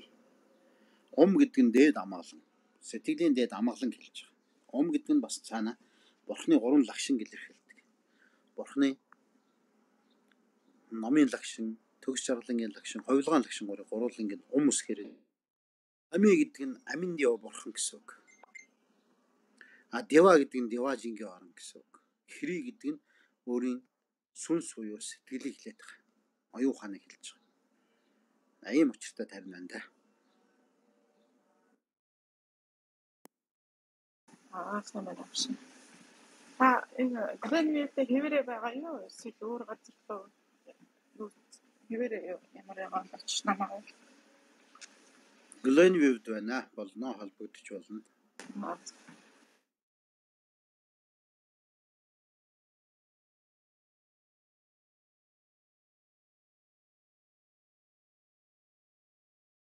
За доороос гарч ирээд асуулт асуух юу боломж нээлттэй шүү хүмүүсээ. За тэгээ надад нэг асуулт байна. Тарин тоолно гэхээр ер нь одоо нөгөө тархин тархи руу ингээд тарин маань очиод тэгээд чичирхийлэл үүсгдэг гэж юм л та. Тэгэхээр дуутай унших болон дуугүй унших гэдэг хоёр төрөл байдаг уу? Чичирхийлэл үүснэ гэвэл тэр дуутай унших одоо учиртай юу гэдэг асуулт гарч ирж байна. Оо яг үнэ. Сайхан асуулт. Тарныг мэдээ дуурч уншуул сайн л да. Ом ами дива хри. За бүрх чанга унших. Бусад дуулдахаар унших. За заримдаа болохоор дээлийнхээ товчонд дуулдахаар уншиж бас болно. дийлнийхээ товч гэдэг. Ингрийн товчонд одоо болтохоор сонирч байна. А бүр одоо би муу өвчтэй үед бол дууж чадахгүй шүү дээ. За тэр үед сэтгэлээрээ сонирчдаг. Оюун санаандаа. Жишээл одоо нас барах, айс тасрахын үед гэж байгаа шүү дээ. Маш өвчтэй цаг үед бол нөгөө амьд ахуйс цагтаа уншижсэн мамид яа хэрэг тарина сэтгэлдээ уншиждаг. Тэгээ тэр сэтгэлдээ унших гол арга нь болохоор түрүү хэлсэн шүү дээ тий. Хэрийн үсэг гэдэг. Хэрийн үсгийг улаан гим гэрлийн мөн чанаруудтайгаар зүрхэндээ бясалгаад за тэгээд зүрхний хот мандалд тойруулаад ум амид яа хэрэг тарныг нар зүү ингээд хүрд шиг эргүүлж яана гэж бодоод тэгээ бясалгах юм бол бас болно. Ер нь бол тарин бол зөвхөн тархинд зүрхэнд вирус бүх биеийн нөлөөлдөг гэж байгаа шүү дээ. Мэдээж ингээд тариныг уншихаар зэрэг тэр одоо жишээл бидний юунд оюун санаанд тэр мэдрэхүй гэж байна. Neuroscience-ийн төвшин ингээ сайн бодоод үзэхээр бидний нөгөө оюун санаанд нөгөө невроныг мэдээллийг баттайгаар аваад хадгалдаг тийм систем байж байгаа. Тэр хадгалалт гэдэг маань юу гэсэн үг вэ гэхээр багчиг гэсэн үг байхгүй юу? Төв дээр бол багчиг уу авьяас. Тэр нь дадал болчдөг. Дадал. А тэгэхээр сүүлдээ таныг ингээд уншсаар гад зоригдлгүйгээр таныг уншдаг, бясалгадаг болчдөг. А тэгвэл тэр дадлыг олон дахин давтамжтайгаар хийсэн буйнаараа яг бурхантай ажиллах юм болж байна л гэсэн үг шүү дээ. Олон дахин таныг уншаад бясалгаад хахад нөгөө 24 цагийн бясалгал чинь хожим бидний нас барах тэр бардаа бардаа буюу зурдын төрөлд ирэх үед ерөөсөө тэр эрлэг номоо хааны буюу одоо тэр эрлэгээр дамждггүй шууд бурхны оронд төрдөг. Тэр зэрэг аминд яв бурхны бясал бол тийм гайхамшигтай нөлөөтэй. Ер нь альч бурхны бясалгал тийм л да. Ер нь бол уншаад бясалгаад тахаар зэрэг одоо тэгж нэг насны биеэр бурхан болсон хүмүүс зөндөө байдаг шүү дээ. Энийг бол түгдэм гэж нэрлэдэг. Түгдэмд оршино гэдэг. Одоо саяхныг хүртэл манай багш маань хүртэл түгдэмд оршиж 7 хоногийн бясалгалаар нас барсныхаа дараа 7 хоногийн бясалгалт яг зүрхний орчин учраас халуун хിവэрэ байгаадсэн. Тэр халуун ингэж хадгалагдаж байсаар байсаар 7 хоногийн дараа хөрч байгаа. А тэр үед бол яг жихэн өөрийн сүнс бол аминд яв бурхны оронд төрсөн гэж үзэж байгаа. Гэх мэтлэнгээр нөгөө тархинд дуутахаа зүрхэнд хадгалаг. Зүрхэнд дуутахаа бүр сүнсний ухамсар гэдэг чинь өөрөө яг ингээ үгээр илэрхийлэх арга байхгүй л тээ. Тэгэхээр тэр ухамсар бол цаашаа ингээ бие байхгүй болсон чид биеийн цаад чамдад оршсоор байдаг гэсэн үг шүү дээ. Тийм гайхамшигтай. Орон зай тэр оршиж байгаа таны environment л биш те таны оршиж байгаа тэр газар оронд хүрт нөлөөлж чаддаг байхгүй. Тарин бол умамид яа гэхээр тань. Тэр яаж бүтчихэн гэхээр түрүүний хэлсэн тэр бож сэтгэлээр хоорондоо шүтэлцээд ирэхээр зэрэг бож сэтгэл хоосон чанарын хүчээр бүх газар орон юу орших вэ? А тэгээ оршиж байгаа сав ертөнц шимийн амтан болгонд энэ тарин нөлөөлдөг гэсэн үг. За баярлалаа. Дууя сайн уу? Асуултаа асуугаарай сайн сайн байцгаана уу? Би нэг юм асуух гэсэн. Би тарин уншихаараа өөрөөсөө гадагш нь гаргаж ингэж цангаар уншиж чаддгүй. Дандаа нөгөө нэг дотроо уншаад идэв. Тэгэхээр одоо бас яах вэ? Яад юм бол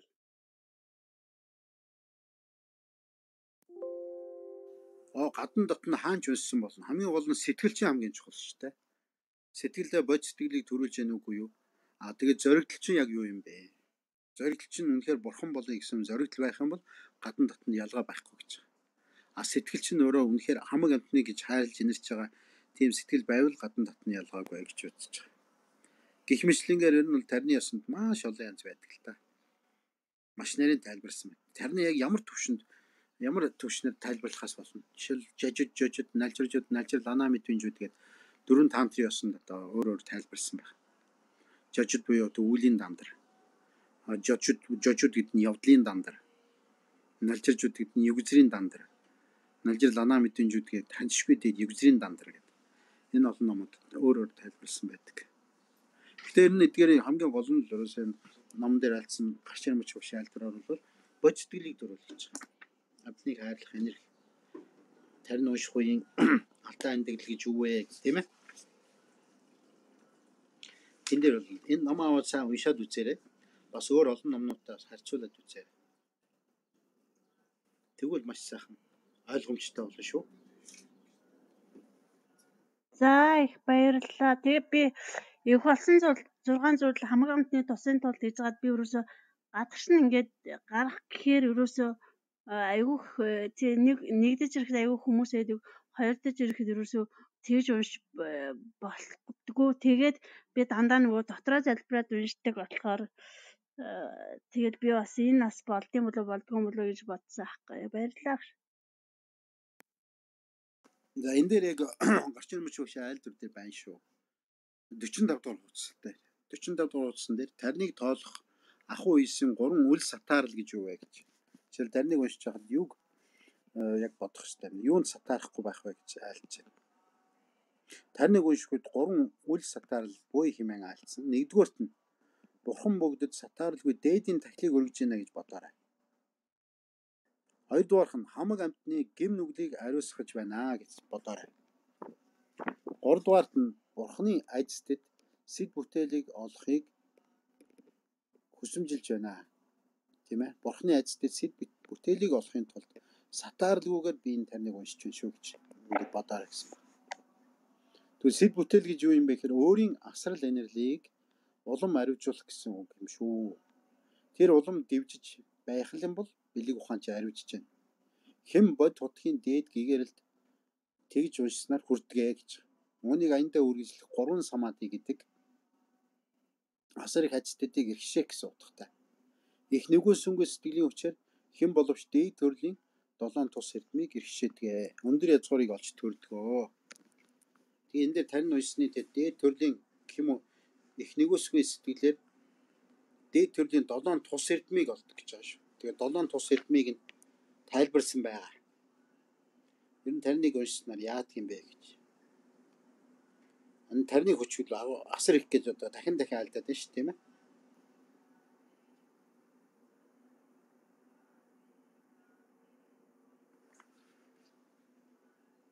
За тэгвэл энийг хэрвээ сонсох хүсэлтэй хүмүүс байгаа бол энийг гоё алдсан байна. За тэр дээд төрлийн долоог олдох нь юу гэсэн үг вэ гэхээр энэ тарныг уншнаар өндөр язгуурыг олдог. Сайн гэр бүл төрдөг. Бие лагшин төгөлдөр болдог. Урт настай болдог. Эрүүл чирэг болдог. Ад жаргалтай болдог. Төгс сэдлэлтэй болдог. Хурц мэрэгэн ухаантай болдог. Ийм гайхамшигтай шинжүүд байдаг юм байна.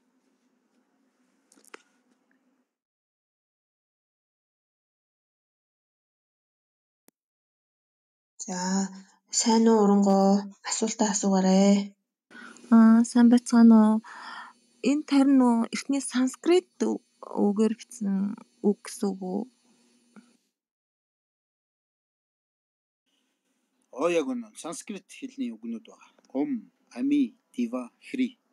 Тэгэхээр аль ч улсад энэ энэ тарныг ом, ами, дива, хри гэдгээр л уншдаг. Ялангуяа их хөлгөний шашин дэлгэрсэн Өвн дотроо бол нууц тарны шашин дэлгэрсэн газрын хүмүүс бүгд ум амидио ахрил гэж уншина.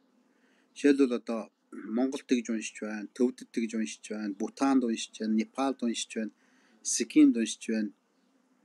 За тэгээд одоо сүүлийн үед нууц тарны асуудал дэлхийд даяар дэлгэрлээ шүү дээ.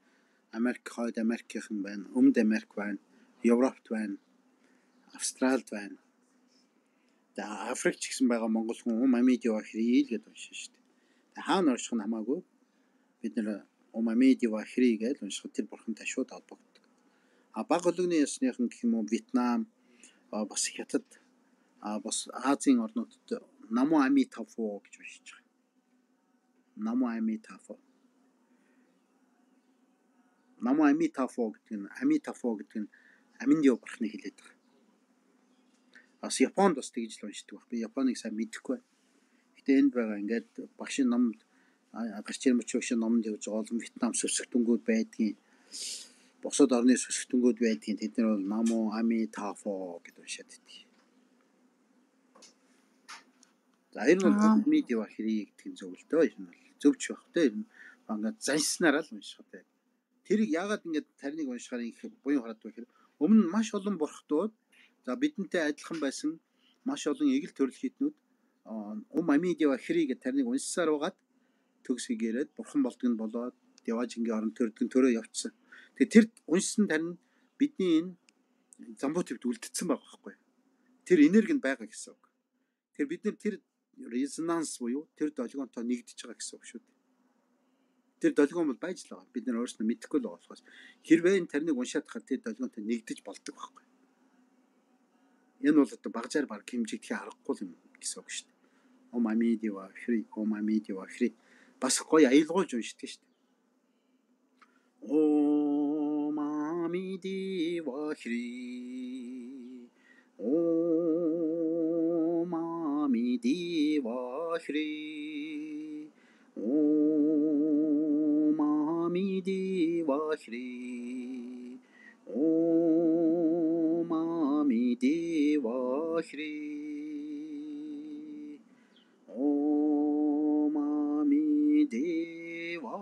Shri.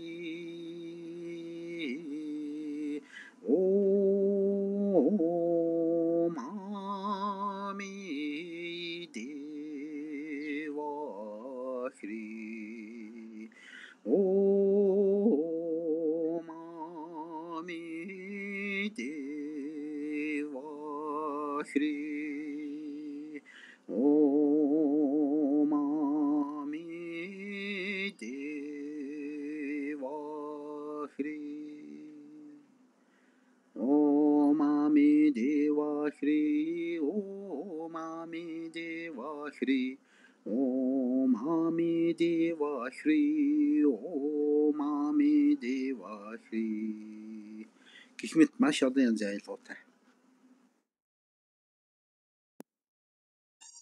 Энэ аялгуунууд нь яг энэ тарин болгондоо өөр өөрт нь аялгау байдаг уу? Эсвэл бол эдгээр аялгуун дээр аль ч тариныг одоо юу аж болдог аялгуулж болдог уу? Болно шүү дээ. Өөрснөө ч аялгау зохиож болно шүү дээ. Жишээлбэл одоо би зүгээр өөрийн туршлагаас ярихад нэг а, Монгол киноны дууны аянд оролцдог шүү дээ. Сонс сонсохыг хүсэж байна уу? Бол. энэ аялгуулах нь их сайхан юм байна. За та нар ямар киноны дуу байна сайн та гараа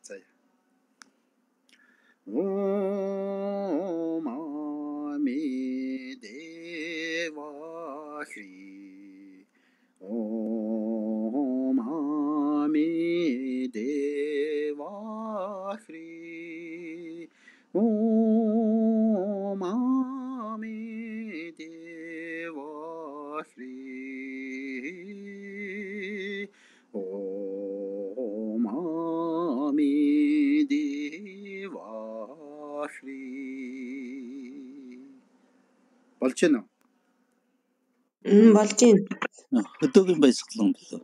Энэ хүүхнүүд Нүгэл буян киноны гэж э, юу хариулт ирсэн байна. энэ хүүхнүүд? Энэ хөөхнүүд киноны дуу шүү дээ. Нүүдний үзүүрт зэрэгэлсэн. Тийм айтаа. Аа за за энэ их юу юм байна те сайхан юм байна.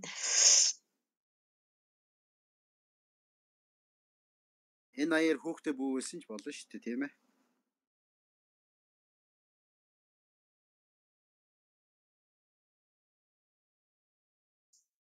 Аа Амита гэдэг а, бурхны тийм үг тарин байдаг болов?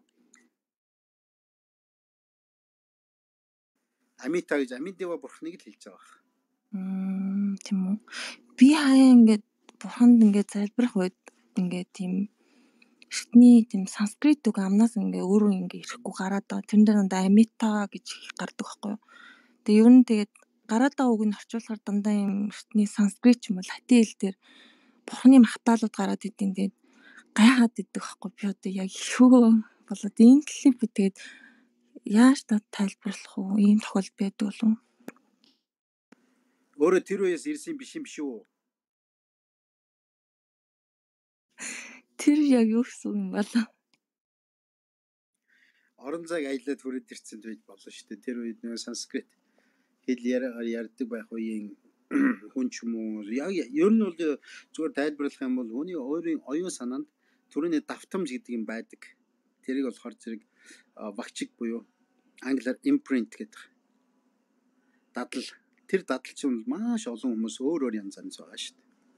Тэгэхээр магадгүй өмнөд олон төрлүүдийн өмнө бурхан багшаас ном сонсч ирсэн ч гэдэг юм уу эсвэл бурханы орноос ч гэсэндээ тэр ном сонсч ирсэн.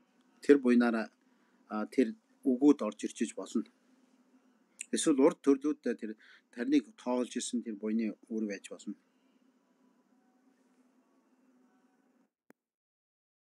Харин орон бүрний хиллээр баярлаа гэдэг тийм. Тэгээд би одоо мэдхгүй орнууд одоо тухайн хөлийг одоо юм ерөөсөө мэдхгүй байх чинь ингээ харахаар өөрөөр орны хэлбэдэд байхгүй. Тэгээд гайхах гэл айх зэрэгцдэг.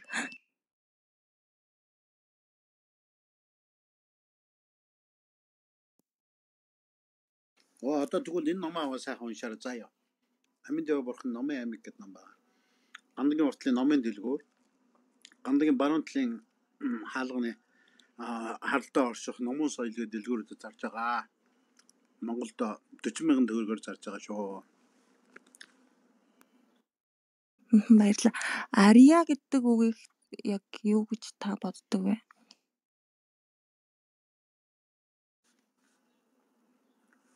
Ария гэдэг чинь хутагт гэсэн үг. Хутагт. Пагба гэж. Төвдөр бол пагва гэсэн үг шүү дээ. Ария гэдэг. Хутагт гэдэг маань нэгсэнд дээд гэгэрлийн утгыг олсон хутагт гэсэн үг. Ийм хүүгүүд байнга тавтагдаж гараад идэгин. Тэгээд Тэнийг танаас асуух. Баярлалаа.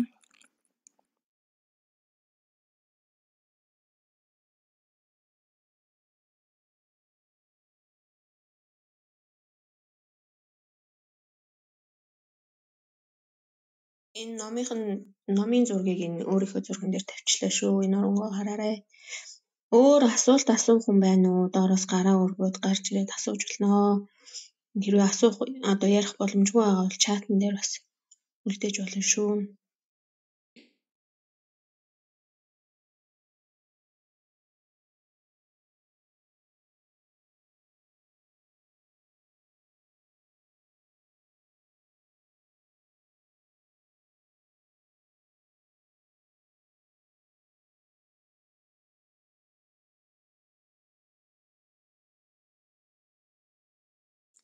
За тэгвэл ингээд цагийн хэмнээд би ч бас ажил төрөлтэй болчлоо. Амин дэвгээ ерөөл уншаад тэгээд номоо төгсгий гэж бодож байна. Дунджаар 2 цаг а, 18 минут орчим болцсон байна. Яриагаа яриад тийм ээ. Зөвшөөрч байна уу? Оо тгийөө тгий агшаа А, цаг нэлийн удаан болсон байна. Хоёрдугаар бас номынхаа агуулгыг нэлээд бас тодорхой дэлгэрэнгүй тайлбарсан болохоор юу ач ёо таны харбал. За тэгвэл амин дэв бурхны ерөөлийг уншъя. За энэ үед юу гэж бодох вэ гэхээр зэрэг надаас өмнө нас барсан бүх хүмүүс бүгд амин дэв бурхны орон төрөх болтугай. Ганцхан хүмүүс ч биш. Их болсон хамаг амтан дотроос өөрийн хайртай мал гуйч байдаг юм уу? Нохоо юу ч байдаг юм ямарваа нэг амтан байсан ч тэдгээр бүгд. За бүр хамаг өөрт хамааралгүй ч гэсэндээ энэ тэнд дайруулж өгсөн нохоо муур юу байдгийг зам дээр хүртэл тийм амтны хэсэг байдаг шүү дээ. Тэдгэрийг хүртэл сайн дотроо бодож бясалгаад ер нь тэгээд өөрт хамааралтай хамааралгүй байсан ч гэсэн энэ цаг мөчөөс яг өмнө өөрийнхөө энэ биеийг орхисон хамаг амтан бүгд бурхан болох болтугай. Ялангуяа аминд яв бурхны орн амгалан сухавадын орнд төрөх болтугай. Энэ сайн бодоорой. За хоёрдугаарх нь болохоор зуурдын ертөнцид байгаа амтан бүхэн. Ялангуяа энэ аминд яв бурхны тарин бол зуурдын ертөнцид байгаа амтанд маш их тусалдаг. Тэгэхээр зуурдын ертөнцид жишээлбэл лус савдгууд байж болж байна. Эсвэл янз бүрийн тонилоогүй сүнснүүд, чөтгөр шулам гэж одоо өөрийн биеийг хорлдог ад дэрээ донгууд гэж байдаг тийм ээ. Тэдгээр бүгд гэсэн архины дон байж болно. Янз бүрийн тэр дум донгууд, бузар азрууд бүгдээрээ бас хариуцах болтугай. Завсрын төрлийн амтан бүхэн бүгд диваажин төрөх болтугай гэж бодоорой. За дараа нь гурав дахь нь юм бэ гэхээр би тэргүүтлэн тэргүүчлэн хамаг амтан ирээдүйд бүгд диваажингийн оронд төрөх болтугай. Гэхдээ диваажингийн оронд төрөхөөс өмнө энэ насыгаа маш утгатай, учиртай их сайхан буянтай өнгөрөөгөөд амтны тусыг бүтээж өнгөрөөгөөд хожим ямар ч зовлонгүйгээр диваажингийн оронд аа маш амгалантайгаар төрөөд тэнд амин див бурхны өмнө байгаа бадамлынхаа нуур нам 8 гишүүн төгөлдөр сайхан тэр нуураас аа цагаан өнгийн бадамлынхаа цэцгнээс жанаас бурхны дүрээр ховлон төрж амин див бурхны нүүрийг нигуурыг бодиттой үзээд тэнд одоо дээдийн эрдмийг төгсгөж олоод амин див бурхан бусад бурхтаас маш их эрдмийг сураад номыг сураад бусад оронд ч гэсэн зорчид номыг сураад ирээдүйд хамаг амтны тусыг бүтээх болтугай гэсэн сайхан сэтгэлийг төрүүлээд тэгээд даган баясаарай. Аа Диважингийн ерөөлийг уншъя. Аа энэ бол богинохон ерөөл байгаа. Эмахо Омсро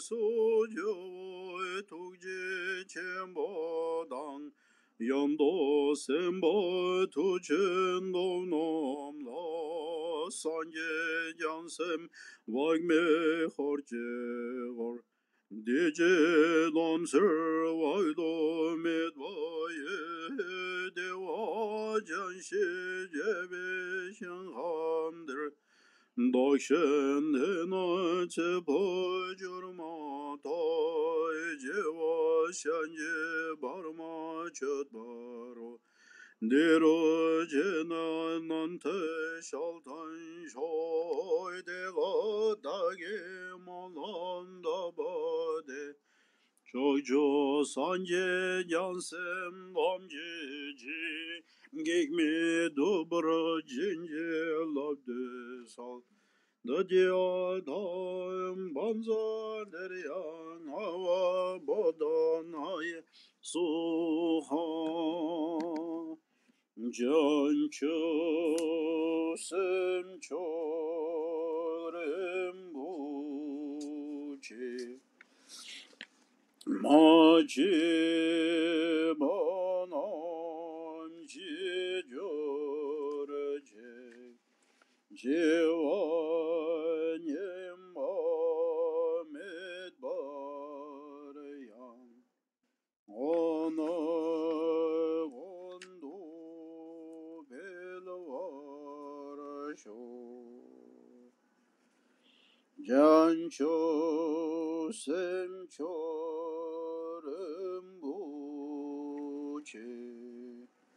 Maje banam je jor je Jeva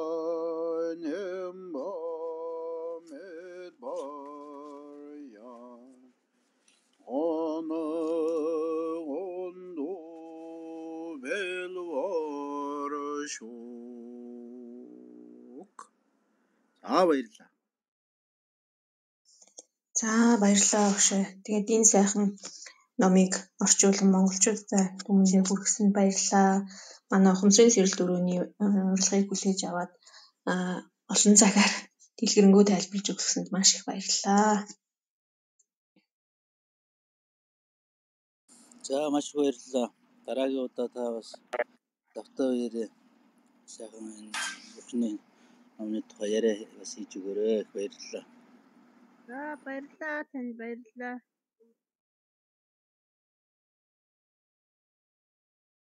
За гэлээ бүгдэнд нь та бүхний буян үргэлж дэлгэрч байх болтугай.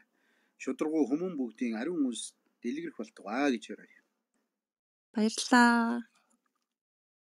Баярлалаа.